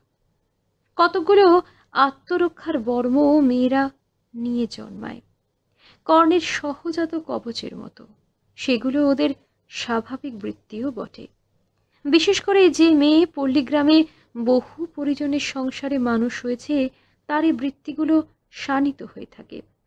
কনকও সঙ্গে সঙ্গে অনুমান করে নিলে, ওই সূর্য চোখের সামনে থেকে চোখ ধাঁধিয়ে রেখেছে বলেই প্রদীপের আলো চোখে ধরছে না। দামি বিলিতি চন্দ্রমল্লিকার কাছে কুন্দ হাস্যাস্পদ হয়ে উঠেছে। সে শুষ্ক কণ্ঠে একটা বেশ বলে পাশ ফিরে শুল। তাদের দাম্পত্য জীবনের প্রথম স্মরণীয় প্রণয় রজনীর বিশৃম্ভালাপে জবনিকা টেনে দিয়ে। হেমো আর কথা বাড়ালো না। বোধ করি রানী বৌদির কথা মনে হতেই তার মনও সেই মাধুর্য রসে নিষিক্ত হয়ে গিয়েছিল। সেই রসেই ডুবে থাকতে চাইল সে। কিন্তু তবু একটু বিরক্তও হলো। মনে হলো বিধাতা বেছে বেছে তার অদৃষ্টেই একটা বোদা মেয়ে রেখে দিয়েছিলেন। প্রাণহীন কাছের পুতুল সংসারে হয়তো কাজে লাগতে পারে, তার কাজে লাগবে না। সে বুঝতে পারল না যে যে মেয়েই আসুক তার আশাভঙ্গ হতোই। আসলে তার আশাটা যে কত দূর গড়ে উঠেছে সেই খবরটাই জানত না সে।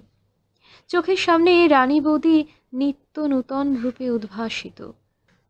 বিলাতি হীরের অসংখ্য পলে বিদ্যুতের আলো পড়লে যেমন চারিদিক থেকে চোখ ধাঁধিয়ে দেয়, কতটা তেমনই। আর তাইতে চোখ ধেঁধেই গেছে তার। অল্প কোনো আলো আর চোখে লাগবার কথা নয়। সুতরাং মনের অগচরে যে আশা, যে ইচ্ছা গড়ে উঠেছিল, সেইখানে একটা প্রচণ্ড আঘাত লাগল। আশাটার খবর জানতো না, আঘাতটা জানল। মনটা বিরূপ হয়ে উঠল তার ফলে। সঙ্গে সঙ্গে গুটিয়েও নিল নিজেকে। পরের দিন থেকে আর আলাপের চেষ্টাও করল না। তাছাড়া তার এমন দরকারও নেই। বিয়ে তো করেছে সে মা আর বাবার পীড়াপিড়িতে। তারাই ঘর করুক বউ নিয়ে, তাদের কাজে লাগলেই হলো। তার প্রয়োজন? না, তার কোনো প্রয়োজন নেই। মনে প্রয়োজনে মেয়ে মেটাতে পারবে না। সে আর একজন মেটাচ্ছে, প্রয়োজনের বেশি। পাত্র উপচে উঠেছে সে মাধুর্যের সুরায়। দৈহিক? না। যতদূর নিজের দিকে তাকিয়ে দেখতে পায়, সে তাগিদও খুব নেই। ও জিনিসটাতেই তেমন যেন প্রবল আসক্তি আর নেই। নলিনী একটা অভ্যাসের সৃষ্টি করেছিল। সেদিন তার কাছে গিয়ে সেই অভ্যাসটাই তাকে টেনেছিল।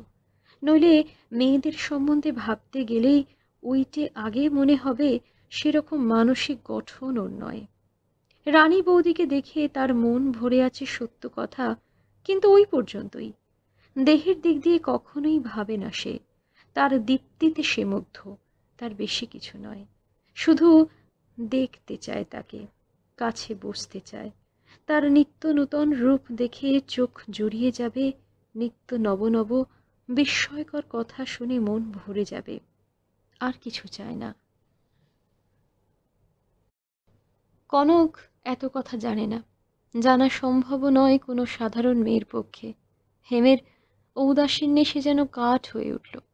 একটা চাপা অভিমানও বোধ করল বটে, কিন্তু সে অভিমান ত্যাগ করতে তার বিন্দুমাত্র দ্বিধা ছিল না। যদি কোন পথে কীভাবে ত্যাগ করলে তাদের সম্পর্কটা সহজ হয়ে উঠবে বুঝতে পারত? এখন কি করা উচিত? তার দিক থেকে কি করবার আছে? তাও যে সে ভেবে পেল না। এই ভাবতে ভাবতে এই সপ্তাহ কেটে গেল। বাপের বাড়ি যাবার ছুটি মিলল মাত্র পনেরো দিন। শ্যামা বললে, আমি এক আর পেরে উঠি না। বড্ড নাটা ঝামটা খেতে হয়।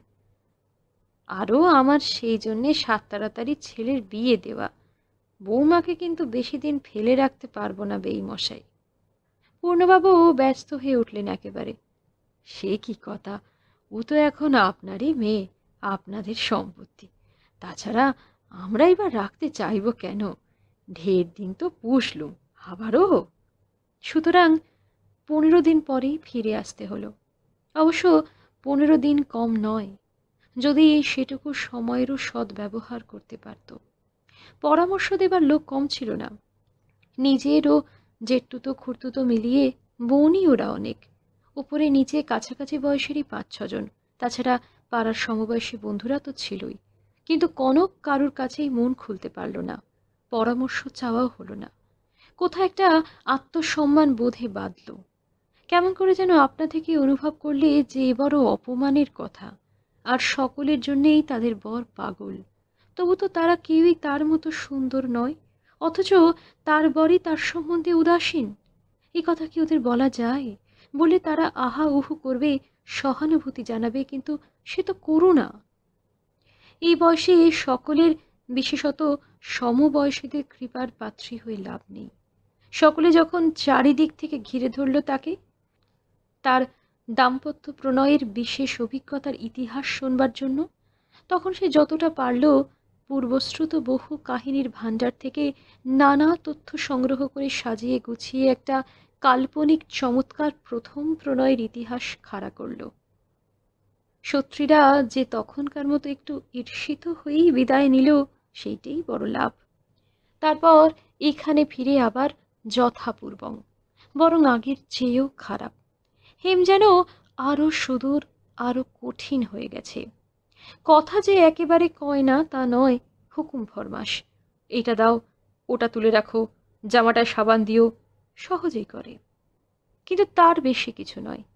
আসেও সে প্রত্যহই বহু রাত করে। এত রাত পর্যন্ত কোথায় থাকে সে? সংকোচে এই কথাটা শাশুড়িকেও জিজ্ঞাসা করতে পারে না। ভাববেন হয়তো যে এরই মধ্যে বউ ছেলের ওপর খবরদারি করছে। হেমকে তো জিজ্ঞাসা করা সম্ভবই নয়। তবে অনুমান করতে পারে সে। খেতে বসে এক একদিন মা, ছেলে বা দাদা বোনে যে টুকরো টুকরো কথা হয়, তা থেকে বোঝে যে সে অনুমান ওর মিথ্যাও নয়। প্রায় প্রত্যহই বড় মাসিমার বাড়ি যায় হেম। এছাড়া থিয়েটারেও যায় শনি রবিবার করে। বিয়ের নেমন্তন্নেও যায় হামেশা। প্রায় প্রত্যেক বিয়ের দিনেই যায়। ওকে এত লোক কী সূত্রে নেমন্তন্ন করে তা ভেবে পায় না কনক। শুধু খেয়েই আসে না, মধ্যে মধ্যে ছাদাও নিয়ে আসে। বহু কথাই বলতে ইচ্ছা করে তার স্বামীকে। বহু অনুযোগ, বহু প্রশ্ন, কিন্তু কাকে বলবে ভেবে পায় না। রাত দশটায় এসে খেয়েই শুয়ে পড়ে ওঠে ভোর পাঁচটায়। ছটার মধ্যে স্নান করে খেয়ে বেরিয়ে যায়। এ মানুষ যদি নিজে থেকে কথা না বলে তো ওর পক্ষে বলা কঠিন। তাছাড়া সংকোচ করতে করতে এ বাধার একটা দুর্লঙ্ঘ প্রাচীর সৃষ্টি হয়েছে। নিজে থেকে যে যে মান ভাঙাতে যাওয়া ভারী লজ্জা করে ওর। তাছাড়া মান ভাঙাবেই বা কী করে? যে অপরাধও করেনি, সেই অপরাধের জন্য ক্ষমা চেয়ে? অবশ্য কথা কয় না মানে গল্প করে না বলে যে সেবাও নেয় না, তা নয়। দৈনন্দিন জীবনের সাধারণ সেবা ছাড়া অসাধারণও কিছু কিছু নেয় বই কি? একবার আসবার সময় মা বিশেষ করে বলে দিয়েছেন খাওয়া দাওয়া হয়ে গেলে শাশুড়ির কাছে গিয়ে বসবি। তিনি শুতে যাও বললে তবে যাবি, আর রোজ জামাইয়ের পা টিপে দিবি। পুরুষ মানুষ খেটে খুটে ঘুরে ঘাড়ে আসে, ওটুকু ওদের দরকার। দেখিস, যেন শ্বশুর বাড়িতে আমাদের মুখ নষ্ট করিসনি। কেউ না বলতে পারে যে মা মাগে কোনো সহবত শেখায়নি মেয়েকে। মার প্রথম উপদেশ মানা কঠিন নয়, কারণ শাশুড়িই ওর জন্য অধৈর্য হয়ে অপেক্ষা করেন। হেমের খাওয়া হলে সেই পাতে ওকে খেতে দিয়ে শাশুড়ি ননদও খেতে বসে যায়। খাওয়া একসঙ্গেই চোখে। ঐন্দ্রিলা রাত্রে মুড়ি খায় বেশিরভাগই। কোনোদিন জুটলে এক আধখানা রুটি। সে তো আগেই উঠে গিয়ে শুয়ে পড়ে। শাশুড়ি জেগে বসে থাকেন। কখন তার সক্রি মুক্ত করা, বাসন মাজা সেই সবে সেই জন্য। সে যখন ঘাটে যায়, শ্যামাও আলো হাতে করে গিয়ে দাঁড়ায়। সমর্থ বউ এত রাত্রে বাইরের ঘাটে যাওয়া ঠিক নয়। সে ফিরে এসে বাড়িতে ঢুকতে না ঢুকতে সদর বন্ধ করে শ্যামা চলে যায় বাইরের ঘরে। সুতরাং কনকের আর অপেক্ষা করার প্রয়োজন থাকে না। দ্বিতীয় উপদেশটা নিয়েই একটু বিপদে পড়েছিল সে। প্রথম দিন অযাচিত, অনিমন্ত্রিতভাবে স্বামীর পায়ে হাত দিতে বেঁধেছিল তার। সবচেয়ে ভয় এটা কিনা সে প্রণয় ভিক্ষা বলে মনে করে। অবশ্য মনে করে যদি সদয় হয় তো বেঁচে যায় কনক। কিন্তু তবু পায়ে ধরে ভালোবাসানো ছি, মনে হলেই কেমন হয়? আরও ভয় যদি পা সরিয়ে নেয়? যদি রূঢ়ভাবে সেবা প্রত্যাখ্যান করে? যদি পা দিয়ে হাত সরিয়ে দেয়? কিন্তু কোনো আশা বা কোনো আশঙ্কাই তার ফলল না। হেম নির্বিবাদে চুপ করে শুয়ে রইল। বাধাও দিলে না, নিষেধও করলে না। কৃতজ্ঞতা স্বরূপ একটা মিষ্টি কথাও বললে না। সবচেয়ে বিপদ থামতেও বললে না। সে কি সারা রাত টিপে যাবে নাকি এমনি? কি মনে করে হেম? তার রাজপ্রাপ্য? অবশেষে অনেকক্ষণ পরে ক্লান্ত হয়ে আপনিই থামল কনক। তাতেও কোনো সাড়া এলো না ও তরফ থেকে। একটু পরে পাশে শুয়ে বুঝল সাড়া দেবার অবস্থাও নেই। হেম গাঢ় ঘুমেই অচেতন। হয়তো অনেকক্ষণই এইভাবে ঘুমোচ্ছে সে। ক্ষোভে অপমানে কনকের চোখে জল এসে যায়। কান্নাটা আরও লজ্জার বুঝেই কোনো মতে আত্মসংবরণ করে। কিন্তু তার চেয়েও লজ্জাকর আর একটা ঘটনা ঘটল দিন কতক পরে। যেটার জন্য এত অকিঞ্চন, এত সাধনা সব মেয়েরই যা কাম্য, তা যখন এলো তখন সেটা পাওয়ার লজ্জাতেই যেন মরে যেতে ইচ্ছা করল কনকের। রোজই পা টেপে সে, নীরবে নিঃশব্দে সেবা করে যায়। আর অম্লান বদনে সে সেবা গ্রহণ করে হেম। থামতে বলে না কোনো দিনই প্রায়ই ঘুমিয়ে পড়ে সে সেবা নিতে নিতেই। কনক আজকাল শেয়ানা হয়ে গেছে। সে দশ বারো মিনিট পা টিপেই শুয়ে পড়ে। ওর রাজনিদ্রার জন্য অপেক্ষা করে না। এরই মধ্যে একদিন এই পা টেপার সময় হেম ওর একটা হাত ধরে আকর্ষণ করল নিজের দিকে। পূর্ব অভিজ্ঞতা নেই সত্য কথা, তবু নারীর সেই স্বাভাবিক অনুভূতি সহজাত বৃত্তি তাকে যেন সতর্ক করে দিল। সমস্ত শরীরে কাঁটা দিয়ে উঠল ওর একটা অজ্ঞাত আশা ও আশঙ্কায়। তবু ঠিক কি ব্যাপারটা তা তখনও বুঝতে পারেনি বলে বাধা দিতেও পারলে না। একটু কঠিন হবার চেষ্টা করেছিল, কিন্তু হেমের সবলতর আকর্ষণে একেবারে তার পাশে এসে পড়ল। সেই আকর্ষণের পুরনো অর্থ বুঝতে দেরি হলো না অবশ্য। সেদিন আর ঘরে শুয়ে থাকতে পারেনি কনক। হাতড়ে হাতড়ে এই অন্ধকারেই বেরিয়ে এসে বাইরের দাওয়ায় পড়েছিল। সারা রাত ধরে কেঁদেছিল সে। প্রণয়হীন, সম্ভাষণহীন, চুম্বনহীন দাম্পত্য মিলনের এই অপমানে। একবার পুকুরে গিয়ে গা ঢেলে দেবার কথাও যে মনে জাগেনি তা নয় কিন্তু নিহাত প্রথম বয়স, বহু আশা, আশঙ্কা, বহু স্বপ্ন তার মানুষ ভবিষ্যতে সেই আশা ও স্বপ্নই তাকে এইভাবে সর্বনাশের দিকে যেতে বাধা দিল। ভোরবেলা শাশুড়ির দৌড় খোলার শব্দে আবার ধীরে ধীরে সে ঘরেই ফিরে এলো, সেই অভিশপ্ত শয্যার দিকে। হেম তখন অগাধে ঘুমোচ্ছে। কাজটা করে ফেলে হয়তো সে একটু অনুতপ্ত হয়েছিল, কিন্তু একটা মন গড়া সান্ত্বনা ঠিক করে নিতেও বেশি বিলম্ব হয়নি তার।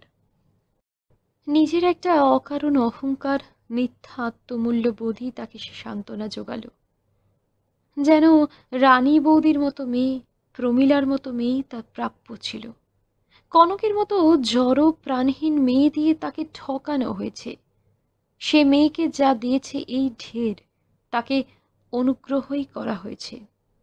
আর একটা সূক্ষ্ম অহংকার তার চূর্ণ হয়েছে। জৈবিক প্রয়োজন তার নেই বলে সে ভেবেছিল মনে মনে সে ভাবনা মিথ্যা হয়ে গেছে।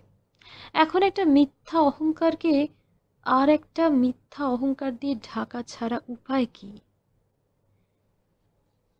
আজকের মতো শ্রী গজেন্দ্র কুমার মিত্রের লেখা উপন্যাস উপকণ্ঠে এখানেই শেষ করছি। আগামী পর্বে উপন্যাসটি সমাপ্ত হবে। আপনারা যারা শুনছেন, তাদের যদি এটি ভালো লেগে থাকে, তাহলে প্লিজ লাইক, শেয়ার করতে ভুলবেন না। সম্ভব হলে মন্তব্যও করবেন। আর এছাড়াও আমি অন্যান্য বেশ কিছু উপন্যাসও পড়েছি, গল্পও আছে। আপনারা চাইলে সেগুলো শুনে দেখতে পারেন। আশা করি আপনাদের ভালো লাগবে। ভালো থাকবেন। ধন্যবাদ।